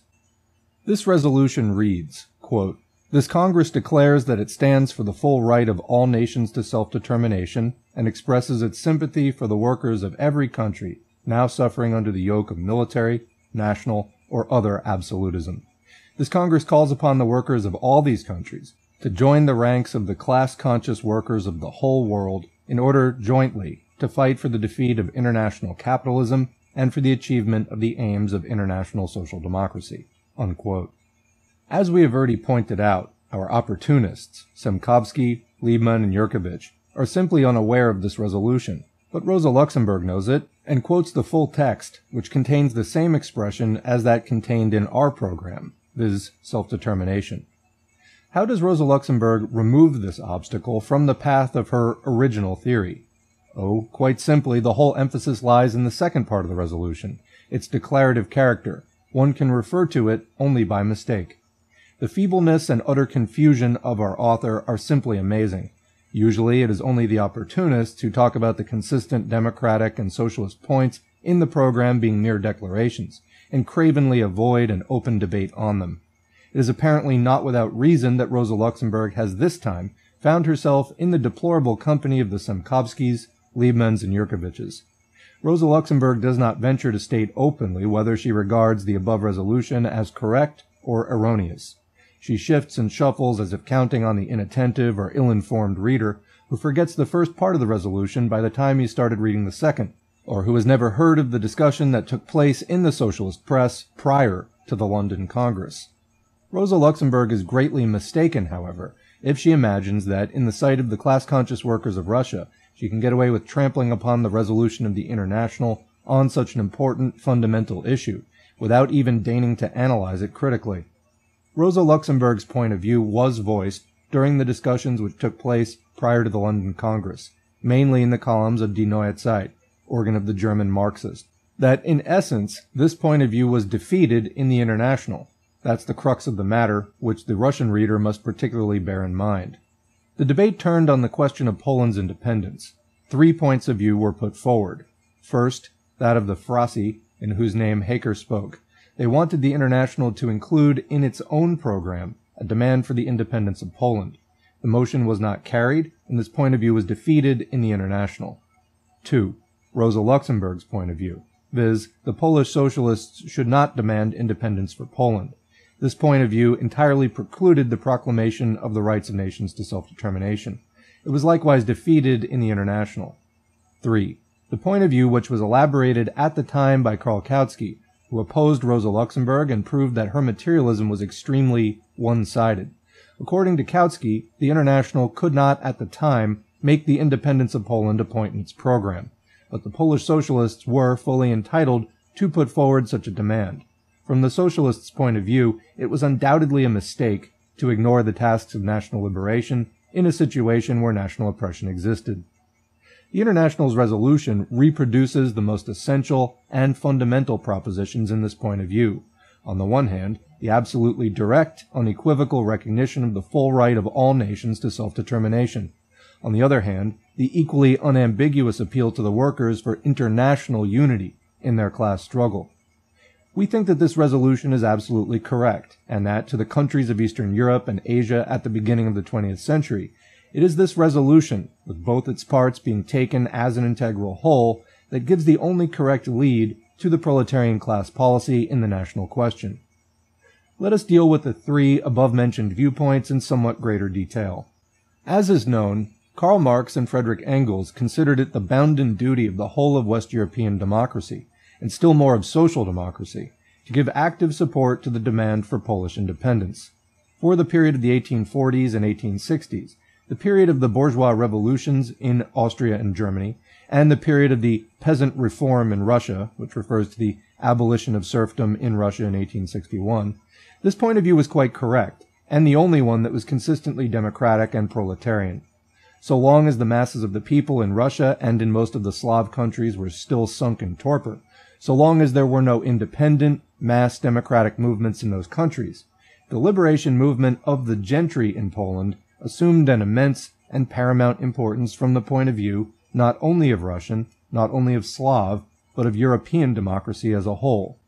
Two footnotes here, first from Lenin, second from MIA. First, it would be a very interesting piece of historical research to compare the position of a noble Polish rebel in 1863 with that of the All-Russia Revolutionary Democrat, Chernyshevsky, who, like Marx, was able to appreciate the importance of the Polish movement, and with that of the Ukrainian petty bourgeois Dragomanov, who appeared much later and expressed the views of a peasant, so ignorant and sluggish, and so attached to his dung heap that his legitimate hatred of the Polish gentry blinded him to the significance which their struggle had for all Russia democracy. See here Dragomanov's Historical Poland and Great Russian Democracy. Dragomanov richly deserved the fervent kisses which were subsequently bestowed on him by Mr. P.B. Struve, who by that time had become a national liberal. That's Lenin's footnote. Next, Lenin is referring to the Polish national liberation insurrection of 1863 to 64 against the yoke of the Tsarist autocracy. The original cause of the rising was the Tsarist government's decision to carry out a special recruitment aimed at removing the revolutionary-minded youth en masse from the cities. Okay. At first, the rising, that's crazy. At first, the rising was led by a central national committee formed by the petty nobles party of the Reds in 1862. Its program demanding national independence for Poland, equal rights for all men in the land, irrespective of religion or birth, transfer to the peasants of the land tilled by them with full right of ownership and without redemption payments, abolition of the corvée, compensation for the landlords for the alienated lands out of the state funds, etc., attracted to the uprising diverse sections of the Polish population, artisans, workers, students, intellectuals from among the gentry, part of the peasantry, and the clergy. In the course of the insurrection, elements united around the party of the whites, the party of the big landed aristocracy and the big bourgeoisie, joined it with the intention of using it in their own interests, and, with the help of Britain and France, securing a profitable deal with the Tsarist government. The attitude of the revolutionary Democrats of Russia toward the rebels was one of deep sympathy. The members of Zemlya i Volya secret society associated with N.G. Chernyshevsky trying to give them every possible assistance. The Central Committee of Zemlya i Volya issued an appeal to the Russian officers and soldiers, which was distributed among the troops sent to suppress the insurrection. A.I. Herzen and N.P. Ogarev published a number of articles in Kolokol devoted to the struggle of the Polish people and rendered material aid to the rebels. Owing to the inconsistency of the party of the Reds, which failed to hold the revolutionary initiative, the leadership of the uprising passed into the hands of the Whites, who betrayed it. By the summer of 1864, the insurrection was brutally crushed by the Tsarist troops. Marx and Engels, who regarded the Polish insurrection of 1863 64 as a progressive movement, were fully in sympathy with it and wished the Polish people victory in its struggle for national liberation. On behalf of the German emigrant colony in London, Marx wrote an appeal for aid to the Poles. Back to the main text. But while Marx's standpoint was quite correct for the 1840s, 50s, and 60s, or for the third quarter of the 19th century, it has ceased to be correct by the 20th century. Independent democratic movements, and even an independent proletarian movement, have arisen in most Slav countries, even in Russia, one of the most backward Slav countries. Aristocratic Poland has disappeared, yielding place to capitalist Poland. Under such circumstances, Poland could not but lose her exceptional revolutionary importance. The attempt of the PSP, the Polish Socialist Party, the present-day Fracy, in 1896 to, quote, establish for all time the point of view that Marx had held in a different epoch, was an attempt to use the letter of Marxism against the spirit of Marxism.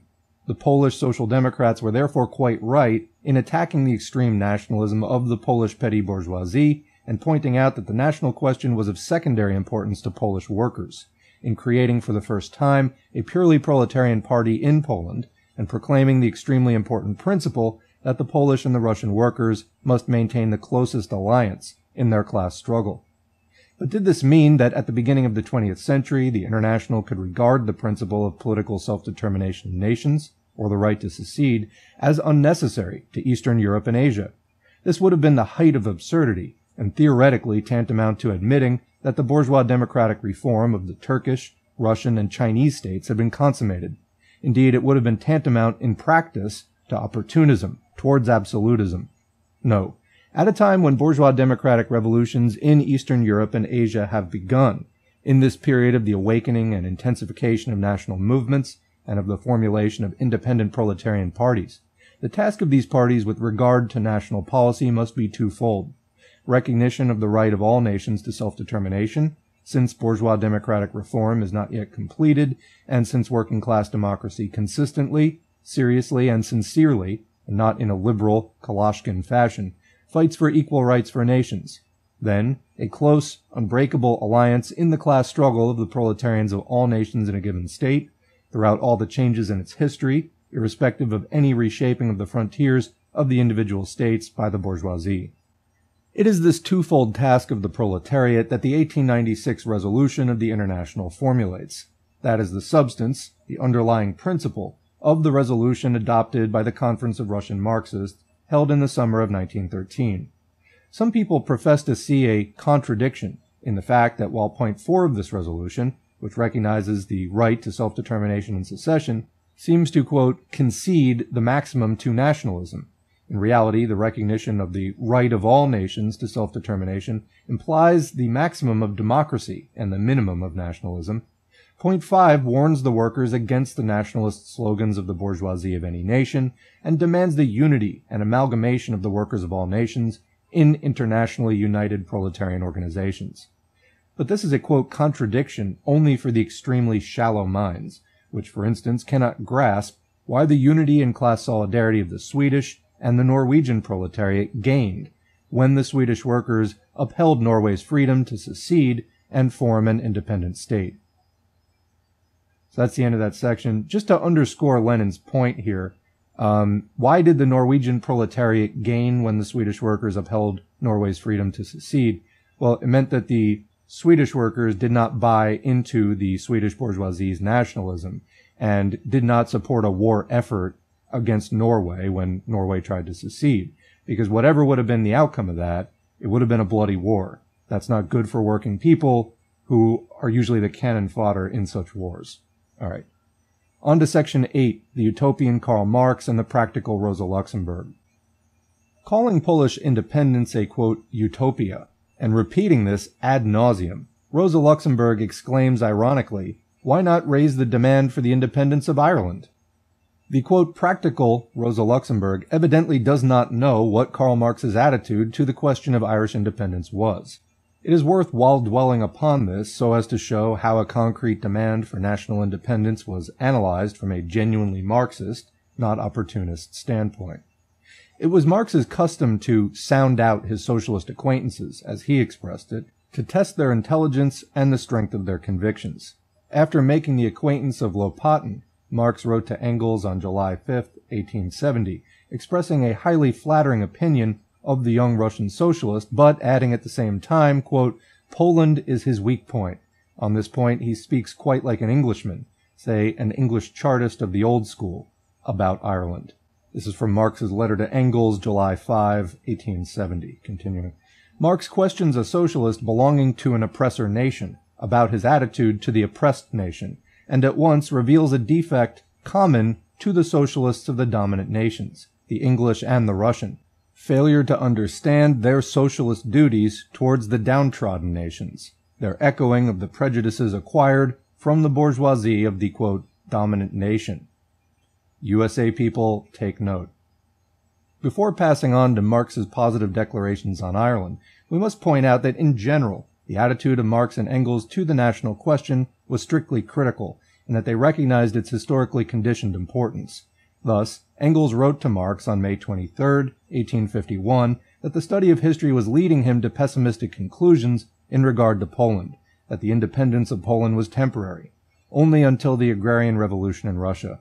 The role of the Poles in history was one of bold, hot-headed foolishness. Quote, and one cannot point to a single instance in which Poland has successfully represented progress, even in relation to Russia, or done anything at all of historical importance, unquote.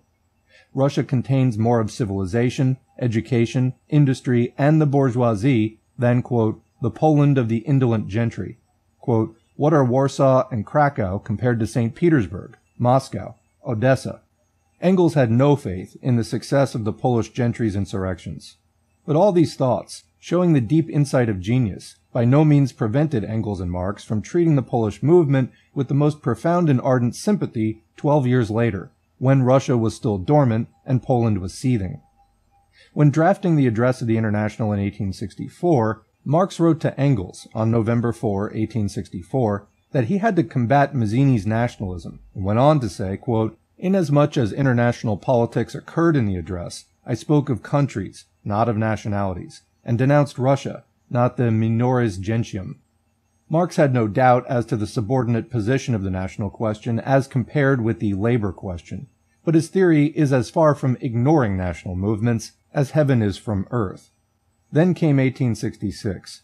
Marx wrote to Engels about the Proudhonist clique in Paris, which, quote, declares nationalities to be an absurdity, attacks Bismarck and Garibaldi.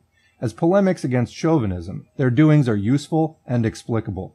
But as believers in Proudhon, Lafargue and Longuet, two very good friends of mine here, also belong to them, who think all Europe must and will sit quietly on their hindquarters until the gentlemen in France abolish poverty and ignorance. They are grotesque. Quoting from letter of June 7, 1866. Quote, Yesterday, Marx wrote on June 20, 1866, quote, There was a discussion in the International Council on the present war.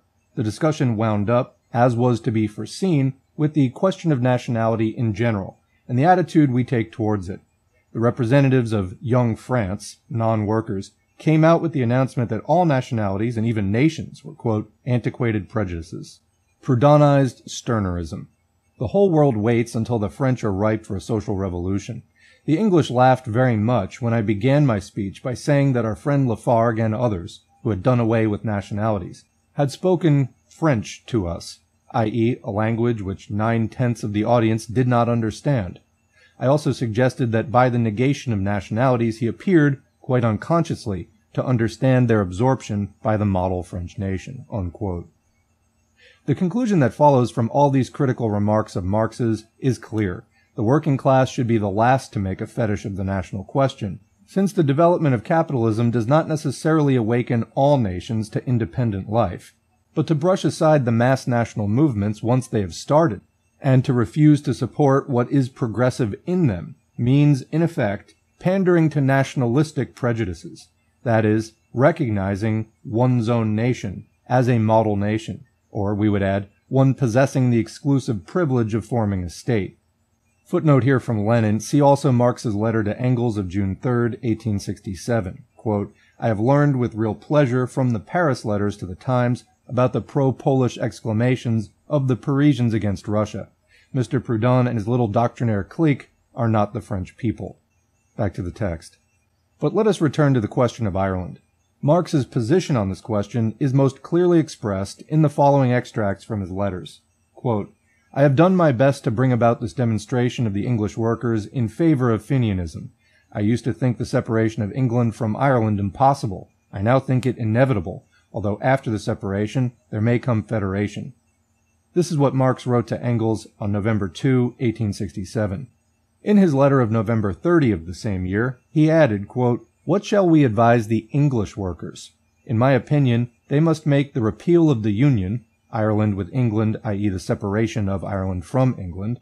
In short, the affair of 1783, only democratized and adapted to the conditions of the time, an article of their pronunciamento.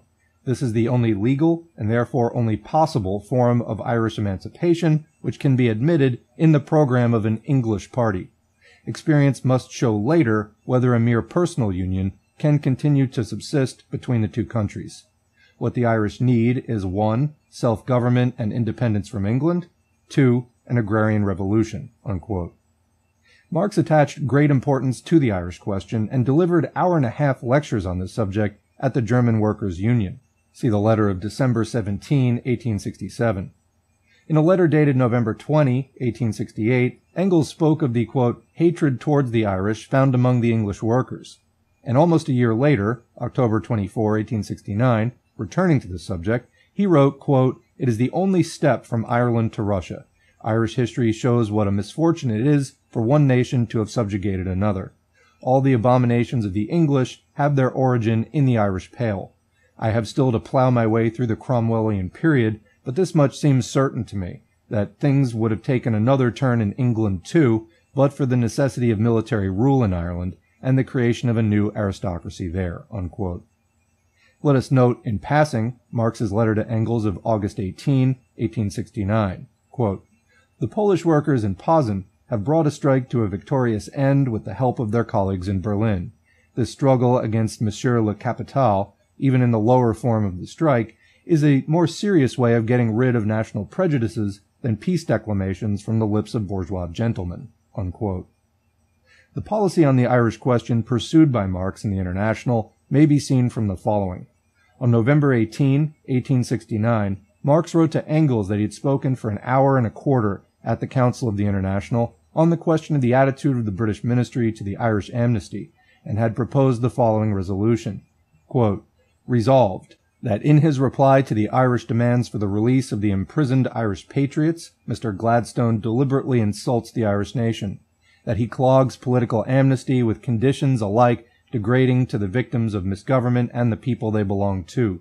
That having, in the teeth of his responsible position, publicly and enthusiastically cheered on the American slaveholders' rebellion, he now steps in to preach to the Irish people the doctrine of passive obedience.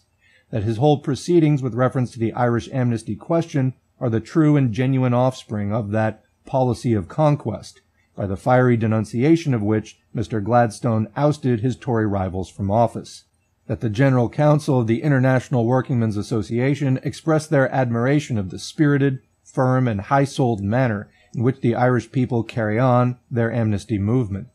That this resolution be communicated to all branches of and workingmen's bodies connected with the International Workingmen's Association in Europe and America. Unquote.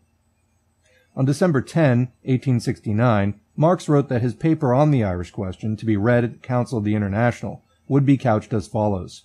Quote, Quite apart from all phrases about international and humane justice for Ireland, which are taken for granted in the International Council. It is in the direct and absolute interest of the English working class to get rid of their present connection with Ireland. And this is my fullest conviction, and for reasons which in part I cannot tell the English workers themselves. For a long time I believed that it would be possible to overthrow the Irish regime by English working class ascendancy. I always expressed this point of view in the New York Tribune, an American paper to which Marx contributed for a long time. Deeper study has now convinced me of the opposite. The English working class will never accomplish anything until it has got rid of Ireland. The English reaction in England had its roots in the subjugation of Ireland. Unquote. Marx's policy on the Irish question should now be quite clear to our readers. Marx, the quote, utopian, was so quote, unpractical that he stood for the separation of Ireland, which half a century later has not yet been achieved. What gave rise to Marx's policy? Was it not mistaken? At first, Marx thought that Ireland would not be liberated by the national movement of the oppressed nation, but by the working class movement of the oppressor nation. Marx did not make an absolute of the national movement, knowing, as he did, that only the victory of the working class can bring about the complete liberation of all nationalities. It is impossible to estimate beforehand all the possible relations between the bourgeois liberation movements of the oppressed nations and the proletarian emancipation movement of the oppressor nation, the very problem which today makes the national question Russia so difficult. However, it so happened that the English working class fell under the influence of the liberals for a fairly long time, became an appendage to the liberals, and by adopting a liberal labor policy, left itself leaderless. The bourgeois liberation movement in Ireland grew stronger and assumed revolutionary forms. Marx reconsidered his view and corrected it. Quote, what a misfortune it is for a nation to have subjugated another. Unquote. The English working class will never be free until Ireland is freed from the English yoke. Reaction in England is strengthened and fostered by the enslavement of Ireland, just as reaction in Russia is fostered by her enslavement of a number of nations. And in proposing in the International a resolution of sympathy with the Irish nation, the Irish people, the clever LVL would probably have berated poor Marx for forgetting about the class struggle. Marx advocated the separation of England from Ireland, quote, although after the separation there may come federation. What were the theoretical grounds for Marx's conclusion? In England, the bourgeois revolution had been consummated long ago, but it had not been consummated in Ireland. It is being consummated only now, after the lapse of half a century, by the reforms of the English liberals. If capitalism had been overthrown in England as quickly as Marx had at first expected, there would have been no room for a bourgeois democratic and general national movement in Ireland. But since it had arisen, Marx advised the English workers to support it, give it a revolutionary impetus, and see it through in the interests of their own liberty. The economic ties between Ireland and England in the 1860s were, of course, even closer than Russia's present ties with Poland, the Ukraine, etc the unpracticality and impracticability of the separation of Ireland, if owing only to geographic conditions and England's immense colonial power, were quite obvious. Though, in principle, an enemy of federalism, Marx in this instance granted the possibility of federation as well, if only the emancipation of Ireland was achieved in a revolutionary, not reformist way, through a movement of the mass of the people of Ireland, supported by the working class of England. There can be no doubt that only such a solution of the historical problem would have been in the best interests of the proletariat and most conducive to rapid social progress. Footnote from Lenin here. By the way, it is not difficult to see why, from a social democratic point of view, the right to self-determination means neither federation nor autonomy, although speaking in the abstract, both do come under the category of self-determination. The right to federation is simply meaningless, since federation implies a bilateral contract. Goes without saying that Marxists cannot include the defense of federalism in general in their program. As far as autonomy is concerned, Marxists defend not the right to autonomy, but autonomy itself, as a general universal principle of a democratic state with a mixed national composition and a great variety of geographical and other conditions. Consequently, the recognition of the right of nations to autonomy is just as absurd as that of the right of nations to federation. Back to the text.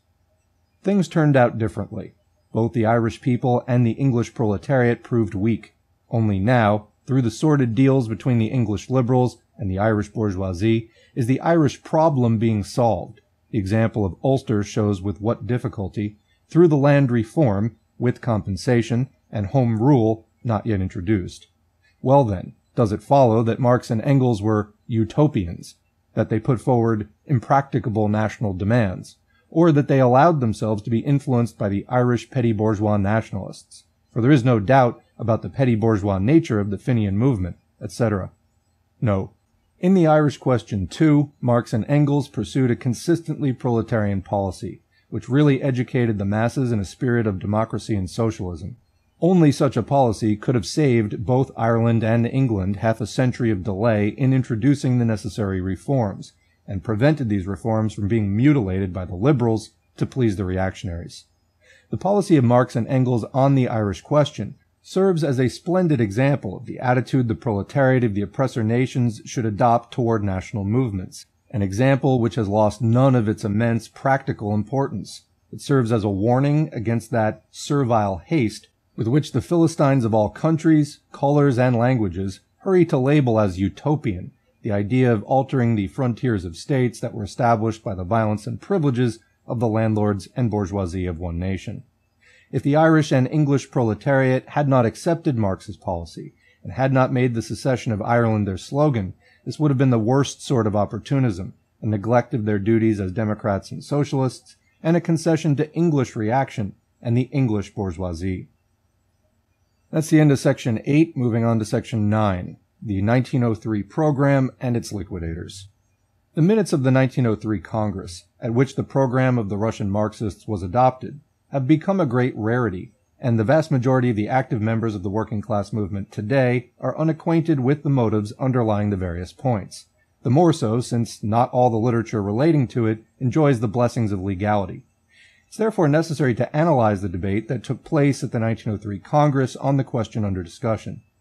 Let us state first of all that however meager the Russian social democratic literature on the right of nations to self-determination may be, it nevertheless shows clearly that this right has always been understood to mean the right to secession.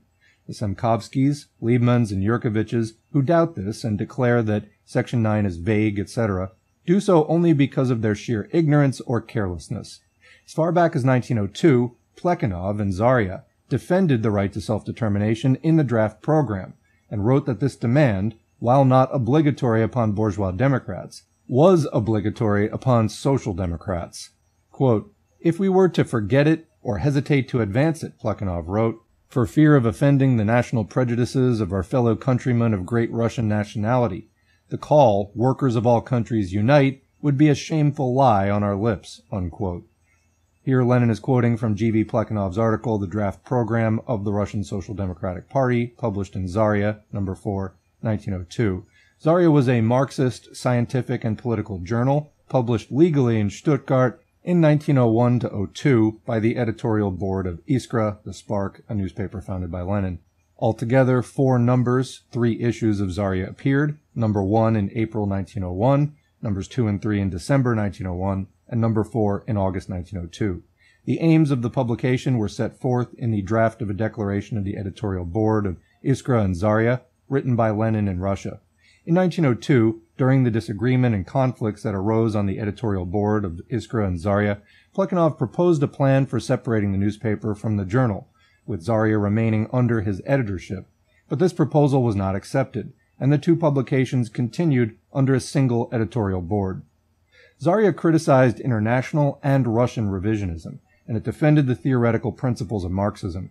The following articles by Lenin were published in this journal.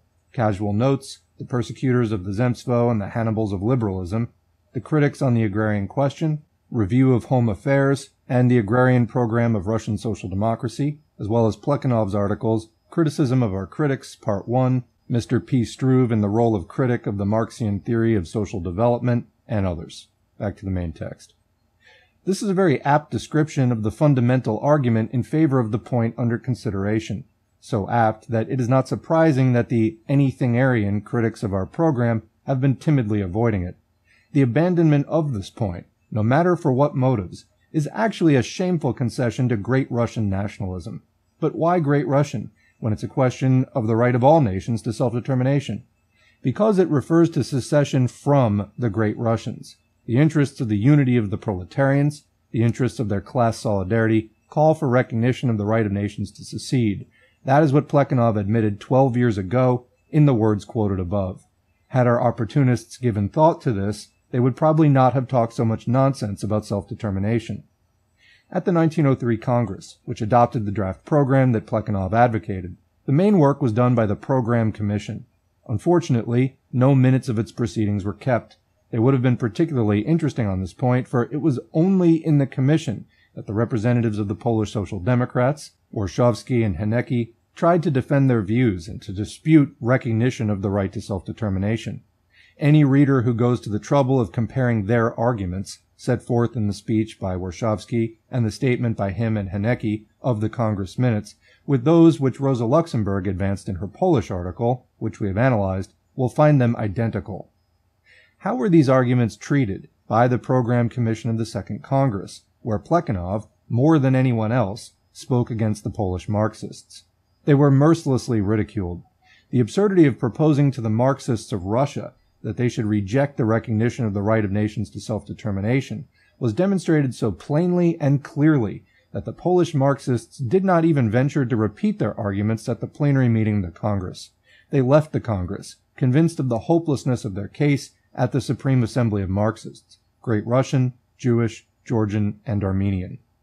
Needless to say, this historic episode is of very great importance to everyone seriously interested in their own program. The fact that the Polish Marxists' arguments were completely defeated at the Program Commission of the Congress and that the Polish Marxists gave up the attempt to defend their views at the plenary meeting of the Congress is very significant. No wonder Rosa Luxemburg maintained a modest silence about it in her article in 1908. The recollection of the Congress must have been too unpleasant. She also kept quiet about the ridiculously inept proposal made by Warszawski and Hanecki in 1903 on behalf of all Polish Marxists to quote, amend Section 9 of the program, a proposal which neither Rosa Luxemburg nor the other Polish Social Democrats have ventured, or will ever venture, to repeat. But although Rosa Luxemburg, concealing her defeat in 1903, has maintained silence over these facts, those who take an interest in the history of their party will make it their business to ascertain them and give thought to their significance. On leaving the 1903 Congress, Rosa Luxemburg's friends submitted the following statement. Quote, we propose that Clause 7, now Clause 9 of the draft program read as follows institutions guaranteeing full freedom of cultural development to all nations incorporated in the state. Unquote. Thus, the Polish Marxists at that time put forward views on the national question that were so vague that instead of self-determination, they practically proposed the notorious cultural national autonomy only under another name.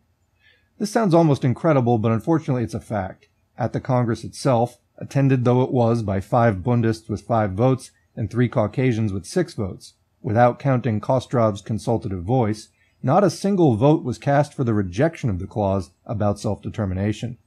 Three votes were cast for the proposal to add cultural national autonomy to this clause in favor of Goldblatt's formula, the establishment of institutions guaranteeing the nation's full freedom of cultural development, and four votes for Lieber's formula, the right of nations to freedom in their cultural development.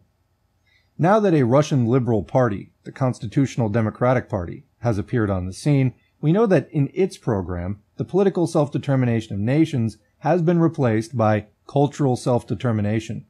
Rosa Luxemburg's Polish friends, therefore, were combating the nationalism of the PSP and did it so successfully that they proposed the substitution of a liberal program for the Marxist program.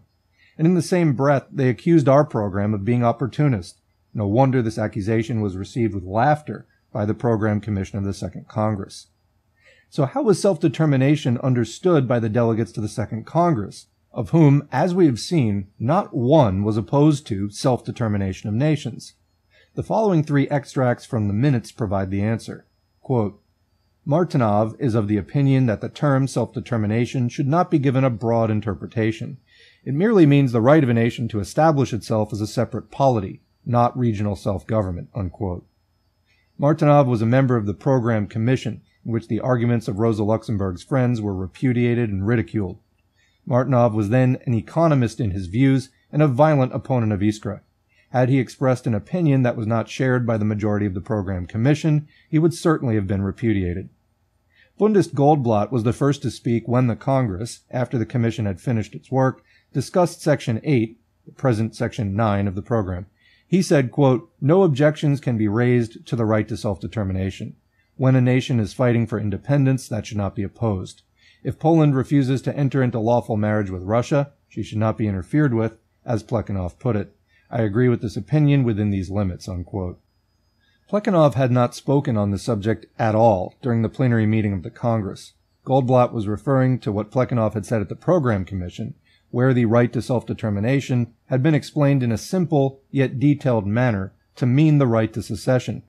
Lieber, who spoke after Goldblatt, remarked, quote, Of course, if any nationality finds that it cannot live within the frontiers of Russia, the party will not place any obstacles in its way, unquote. The reader will see at the Second Congress of the Party, which adopted the program, it was unanimously understood that self-determination meant only the right to secession. Even the Bundists grasped this truth at the time, and it is only in our own deplorable times of continued counter-revolution and all sorts of apostasy that we can find people who, bold in their ignorance, declare that the program is, quote, vague. But before devoting time to these sorry would-be social democrats, let us first finish with the attitude of the Poles to the program. They came to the Second Congress, 1903, declaring that unity was necessary and imperative, but they left the Congress after their reverses in the Program Commission, and their last word was a written statement, printed in the minutes of the Congress, containing the above-mentioned proposal to substitute cultural national autonomy for self-determination. In 1906, the Polish Marxists joined the party, neither upon joining nor afterwards at the Congress of 1907, the conferences of 1907 and 1908, or the plenum of 1910, did they introduce a single proposal to amend Section 9 of the Russian program. That is a fact. And, despite all utterances and assurances, this fact definitely proves that Rosa Luxemburg's friends regarded the question as having been settled by the debate at the Program Commission of the Second Congress, as well as by the decision of that Congress, and that they tacitly acknowledged their mistake and corrected it by joining the party in 1906, after they had left the Congress in 1903, without a single attempt to raise the question of amending Section 9 of the program through party channels. Rosa Luxemburg's article appeared over her signature in 1908. Of course, it never entered anyone's head to deny party publicists the right to criticize the program. And since the writing of this article, not a single official body of the Polish Marxists has raised the question of revising that section. Trotsky was therefore rendering a great disservice to certain admirers of Rosa Luxemburg when he wrote, on behalf of the editors of Borba, in issue number two of that publication, March 1914, quote, the Polish Marxists consider that the right to national self-determination is entirely devoid of political content and should be deleted from the program. The obliging Trotsky is more dangerous than an enemy. Trotsky could produce no proof except private conversations, i.e. simply gossip, on which Trotsky always subsists, for classifying Polish Marxists in general as supporters of every article by Rosa Luxemburg. Trotsky presented the Polish Marxists as people devoid of honor and conscience, incapable of respecting even their own convictions and the program of their party. How obliging Trotsky is. When, in 1903, the representatives of the Polish Marxists walked out of the Second Congress over the right to self-determination, Trotsky could have said at the time that they regarded this right as devoid of content and subject to deletion from the program. But after that, the Polish Marxists joined the party whose program this was, and they have never introduced a motion to amend it. Footnote from Lenin, we are informed that the Polish Marxists attended the summer conference of the Russian Marxists in 1913 with only a consultative voice, and did not vote at all on the right to self-determination, i.e. secession, declaring their opposition to this right in general. Of course, they had a perfect right to act the way they did, and as hitherto, to agitate in Poland against secession. But this is not quite what Trotsky said, for the Polish Marxists did not demand the quote, deletion of Section 9 from the program. Back to the text. Why did Trotsky withhold these facts from the readers of his journal? only because it pays him to speculate on fomenting differences between the Polish and the Russian opponents of liquidationism, and to deceive the Russian workers on the question of the program. Trotsky has never yet held a firm opinion on any important question of Marxism. He always contrives to worm his way into the cracks of any given difference of opinion and desert one side for the other. At the present moment, he is in the company of the Bundists and the liquidators, and these gentlemen do not stand on ceremony where the party is concerned. Listen to the Bundist Liebman. Quote, when, 15 years ago, this gentleman writes, quote, the Russian Social Democrats included the point about the right of every nationality to self-determination in their program, everyone asked himself, what does this fashionable term really mean? No answer was forthcoming. This word was left wrapped in mist, and indeed at the time it was difficult to dispel that mist. The moment had not come when this point could be made concrete, it was said, so let it remain wrapped in mist for the time being, and practice will show what content should be put into it. Unquote. Isn't it magnificent, the way this ragamuffin mocks at the party program? And why does he mock at it? Because he is an absolute ignoramus, who has never learned anything or even read any party history, but merely happened to land in liquidation circles where going about in the nude is considered the right thing to do as far as knowledge of the party and everything it stands for is concerned. Pomyalovsky's seminary student boasts of having spat into a barrel of sauerkraut.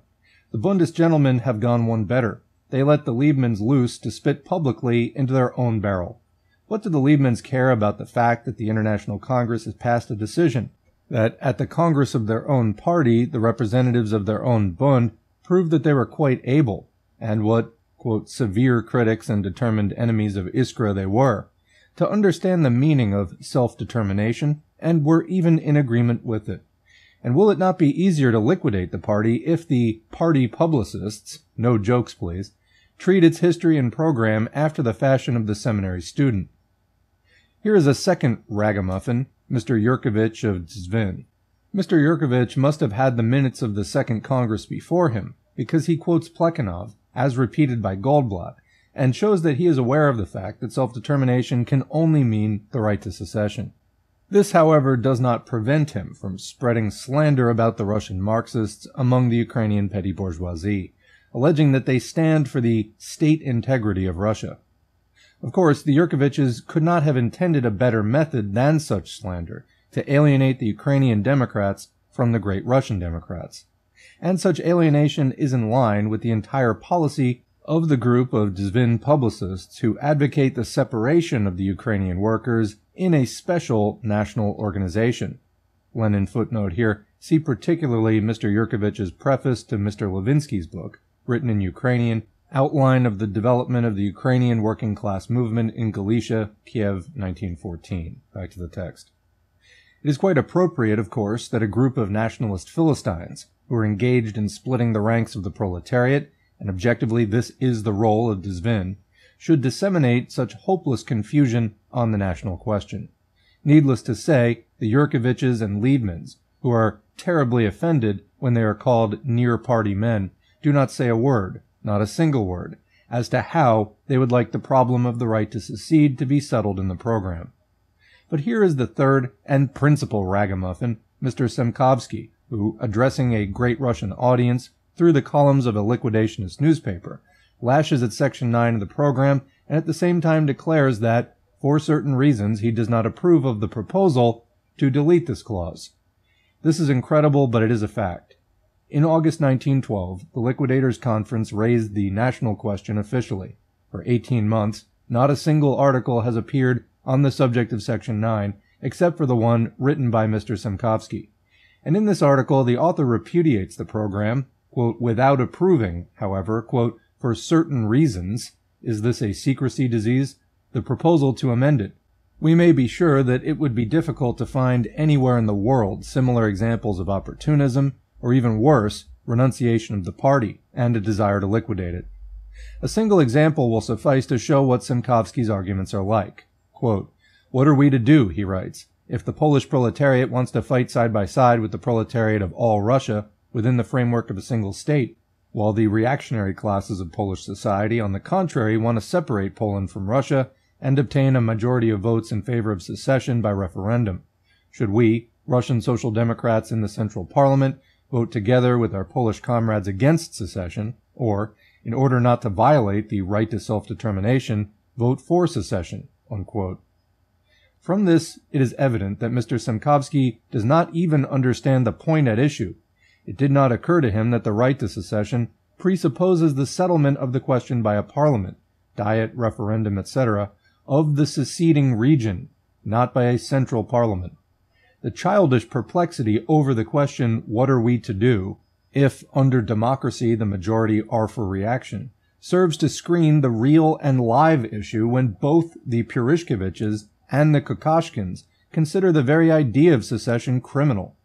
Perhaps the proletarians of all Russia ought not to fight the Purishkeviches and the Kokoshkins today, but should bypass them and fight the reactionary classes of Poland.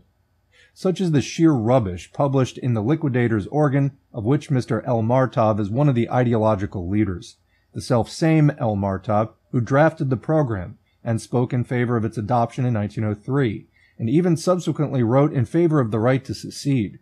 Apparently, L. Martov is now arguing, according to the rule, no clever man is needed there. Better send red, and I shall wait and see.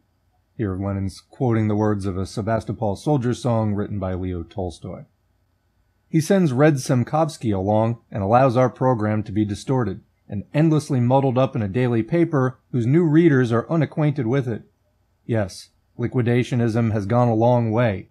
There are even very many prominent ex-social democrats who have not a trace of party spirit left in them. Rosa Luxemburg cannot, of course, be classed with the Liebmans, Yurkeviches, and Semkovskys, but the fact that it was this kind of people who seized upon her error shows with particular clarity the opportunism that she has lapsed into. That's the end of section 9, moving on to section 10, conclusion. To sum up, as far as the theory of Marxism in general is concerned, the question of the right to self-determination presents no difficulty. No one can seriously question the London Resolution of 1896, or the fact that self-determination implies only the right to secede, or that the formation of independent national states is the tendency in all bourgeois democratic revolutions. A difficulty is to some extent created by the fact that in Russia, the proletariat of both the oppressed and oppressor nations are fighting, and must fight side by side. The task is to preserve the unity of the proletariat's class struggle for socialism, and to resist all bourgeois and black hundred nationalist influences. Where the oppressed nations are concerned, the separate organization of the proletariat as an independent party sometimes leads to such a bitter struggle against local nationalism that the perspective becomes distorted and the nationalism of the oppressor nation is lost sight of. But this distortion of perspective cannot last long. The experience of the joint struggle waged by the proletarians of various nations has demonstrated all too clearly that we must formulate political issues from the all Russia, not from the Krakow point of view. And in all Russia politics, it is the Purishkeviches and the Kokoshkins who are in the saddle. Their ideas predominate, and their persecution of non-Russians for separatism, for even thinking about secession, is being preached and practiced in the Duma, in the schools, in the churches, in the barracks, and in hundreds and thousands of newspapers. It is this great Russian nationalist poison that is polluting the entire all Russia political atmosphere. This is the misfortune of one nation, which, by subjugating other nations, is strengthening reaction throughout Russia. The memories of 1849 and 1863 form a living political tradition, which, unless great storms arise, threatens to hamper every democratic and especially every social democratic movement for decades to come. There can be no doubt that however natural the point of view of certain Marxists belonging to the oppressed nations, whose misfortune is sometimes that the masses of the population are blinded by the idea of their quote, own national liberation, may appear at times, in reality the objective alignment of class forces in Russia makes refusal to advocate the right to self-determination tantamount to the worst opportunism, to the infection of the proletariat with the ideas of the Kokoshkins. And these ideas are, essentially, the ideas and the policy of the Purishkeviches. Therefore, although Rosa Luxemburg's point of view could at first have been excused as being specifically Polish, Krakow narrow-mindedness, it is inexcusable today, when nationalism and above all, governmental Great Russian nationalism has everywhere gained ground, and when policy is being shaped by this Great Russian nationalism.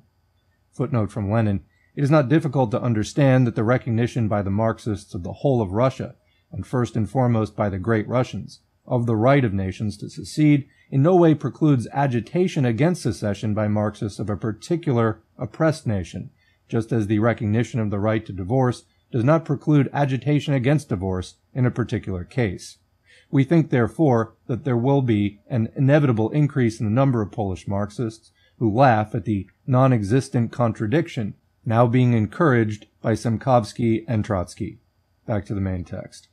In actual fact, it is being seized upon by the opportunists of all nations who fight shy of the idea of storms and leaps, believe that the bourgeois democratic revolution is over, and follow in the wake of the liberalism of the Kokoshkins. Like any other nationalism, Great Russian nationalism passes through various phases, according to the classes that are dominant in the bourgeois country at any given time. Up to 1905, we almost exclusively knew national reactionaries, after the revolution, national liberals arose in our country. In our country, this is virtually the stand adopted both by the Octobrists and by the cadets, Kokoshkin, i.e. by the whole of the present-day bourgeoisie. Great Russian National Democrats will inevitably appear later on. Mr. Peshekhonov, one of the founders of the Popular Socialist Party, already expressed this point of view in the issue of Russkoye Bogatstvo for August 1906, when he called for caution in regard to the peasants' nationalist prejudices. However much others may slander us Bolsheviks and accuse us of idealizing the peasant, we have always made and always will make a clear distinction between peasant intelligence and peasant prejudice, between peasant strivings for democracy in opposition to Purishkevich, and the peasant desire to make peace with the priest and the landlord.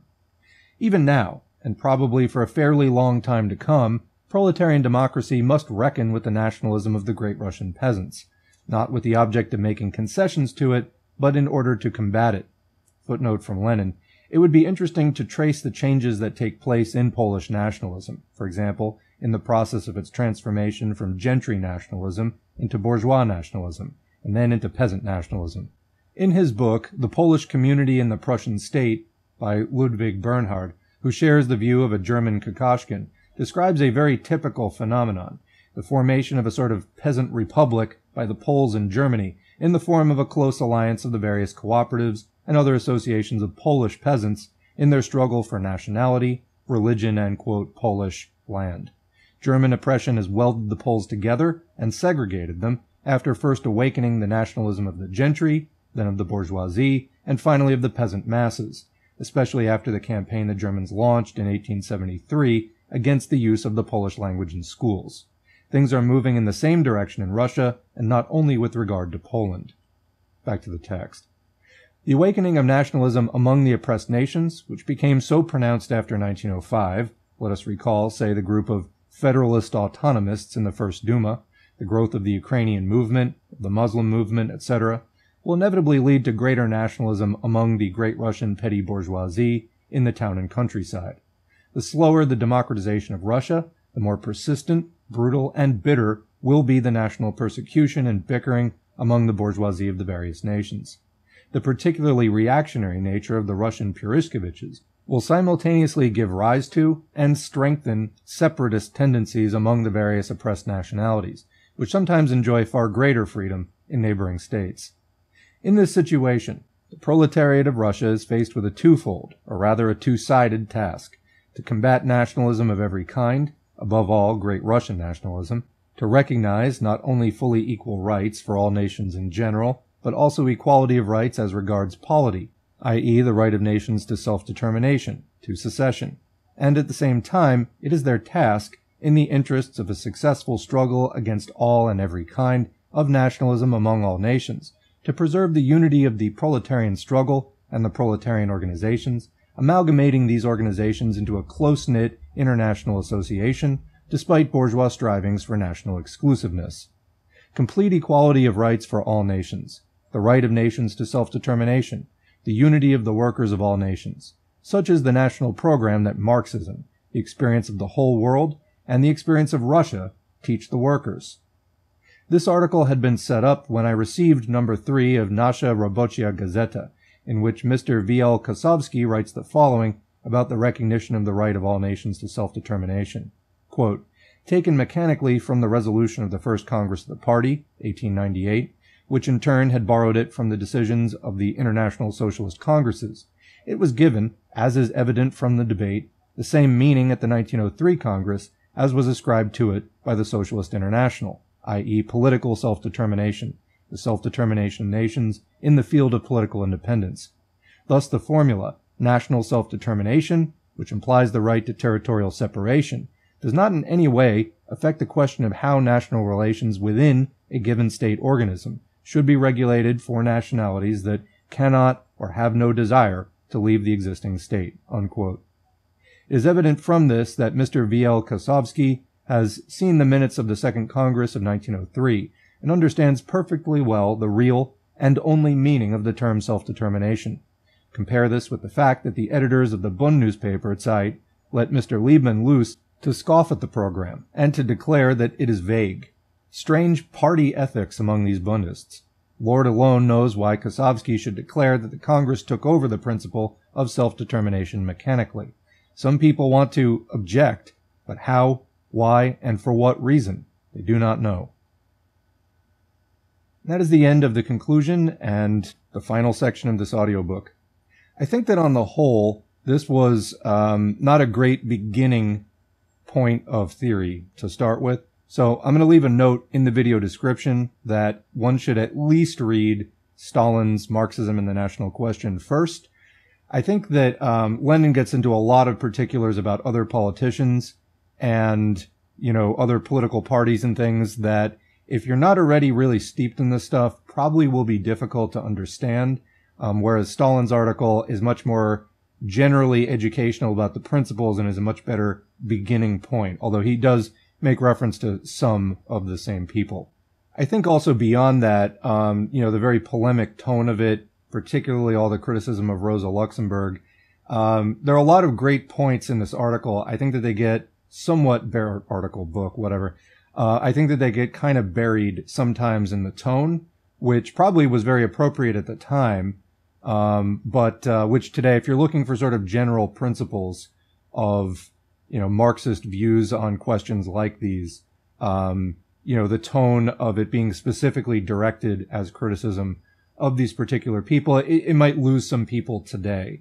That said, if you're already um, familiar with the basics, it is a pretty good article because there, like I said, there are a lot of good points in it. But I, again, I think it's not a good beginner's article. So if you had trouble with it, uh, those would be my recommendations. So Anyway, um, otherwise, I think I've made most of my points already. I think that particularly uh, Lenin's points about the kinds of stances that proletarians in oppressor nations should take regarding the rights of uh, proletarians in the oppressed nations. I think that that's important, and not just the proletarians, but uh, all that stuff. Um, I'm a little bit tired as I'm finishing this, but uh, I think that there are a lot of you know, still very relevant points today for people in a country like the United States or really anywhere else that engages in national oppression.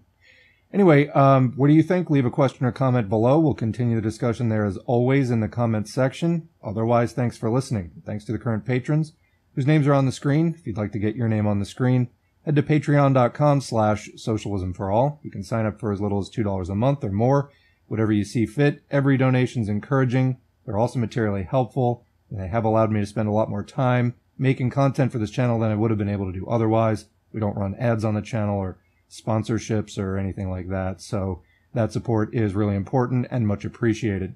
Then after the content is produced and uploaded, engagement counts. So like it, share, subscribe, comment on the videos, even if it's thanks or good video. All of that helps YouTube to recommend this content to more people.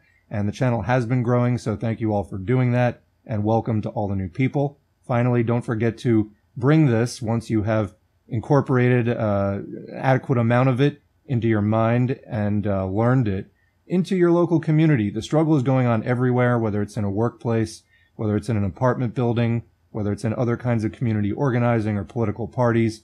Um, you've got to take this to the real world. It's not enough just to learn it. And that will continue your development, your class consciousness, and it will further the struggle and will even Sometimes, in the more successful cases, bring some results. It will also bring unity. You'll be able to network with other people who are like-minded, and you'll be able to expand the class struggle further and further, which is something we need to do on the road toward abolishing capitalism. Still have a lot of steps left to go, so let's get out there and do it. Thanks again, and we'll catch you in the next video.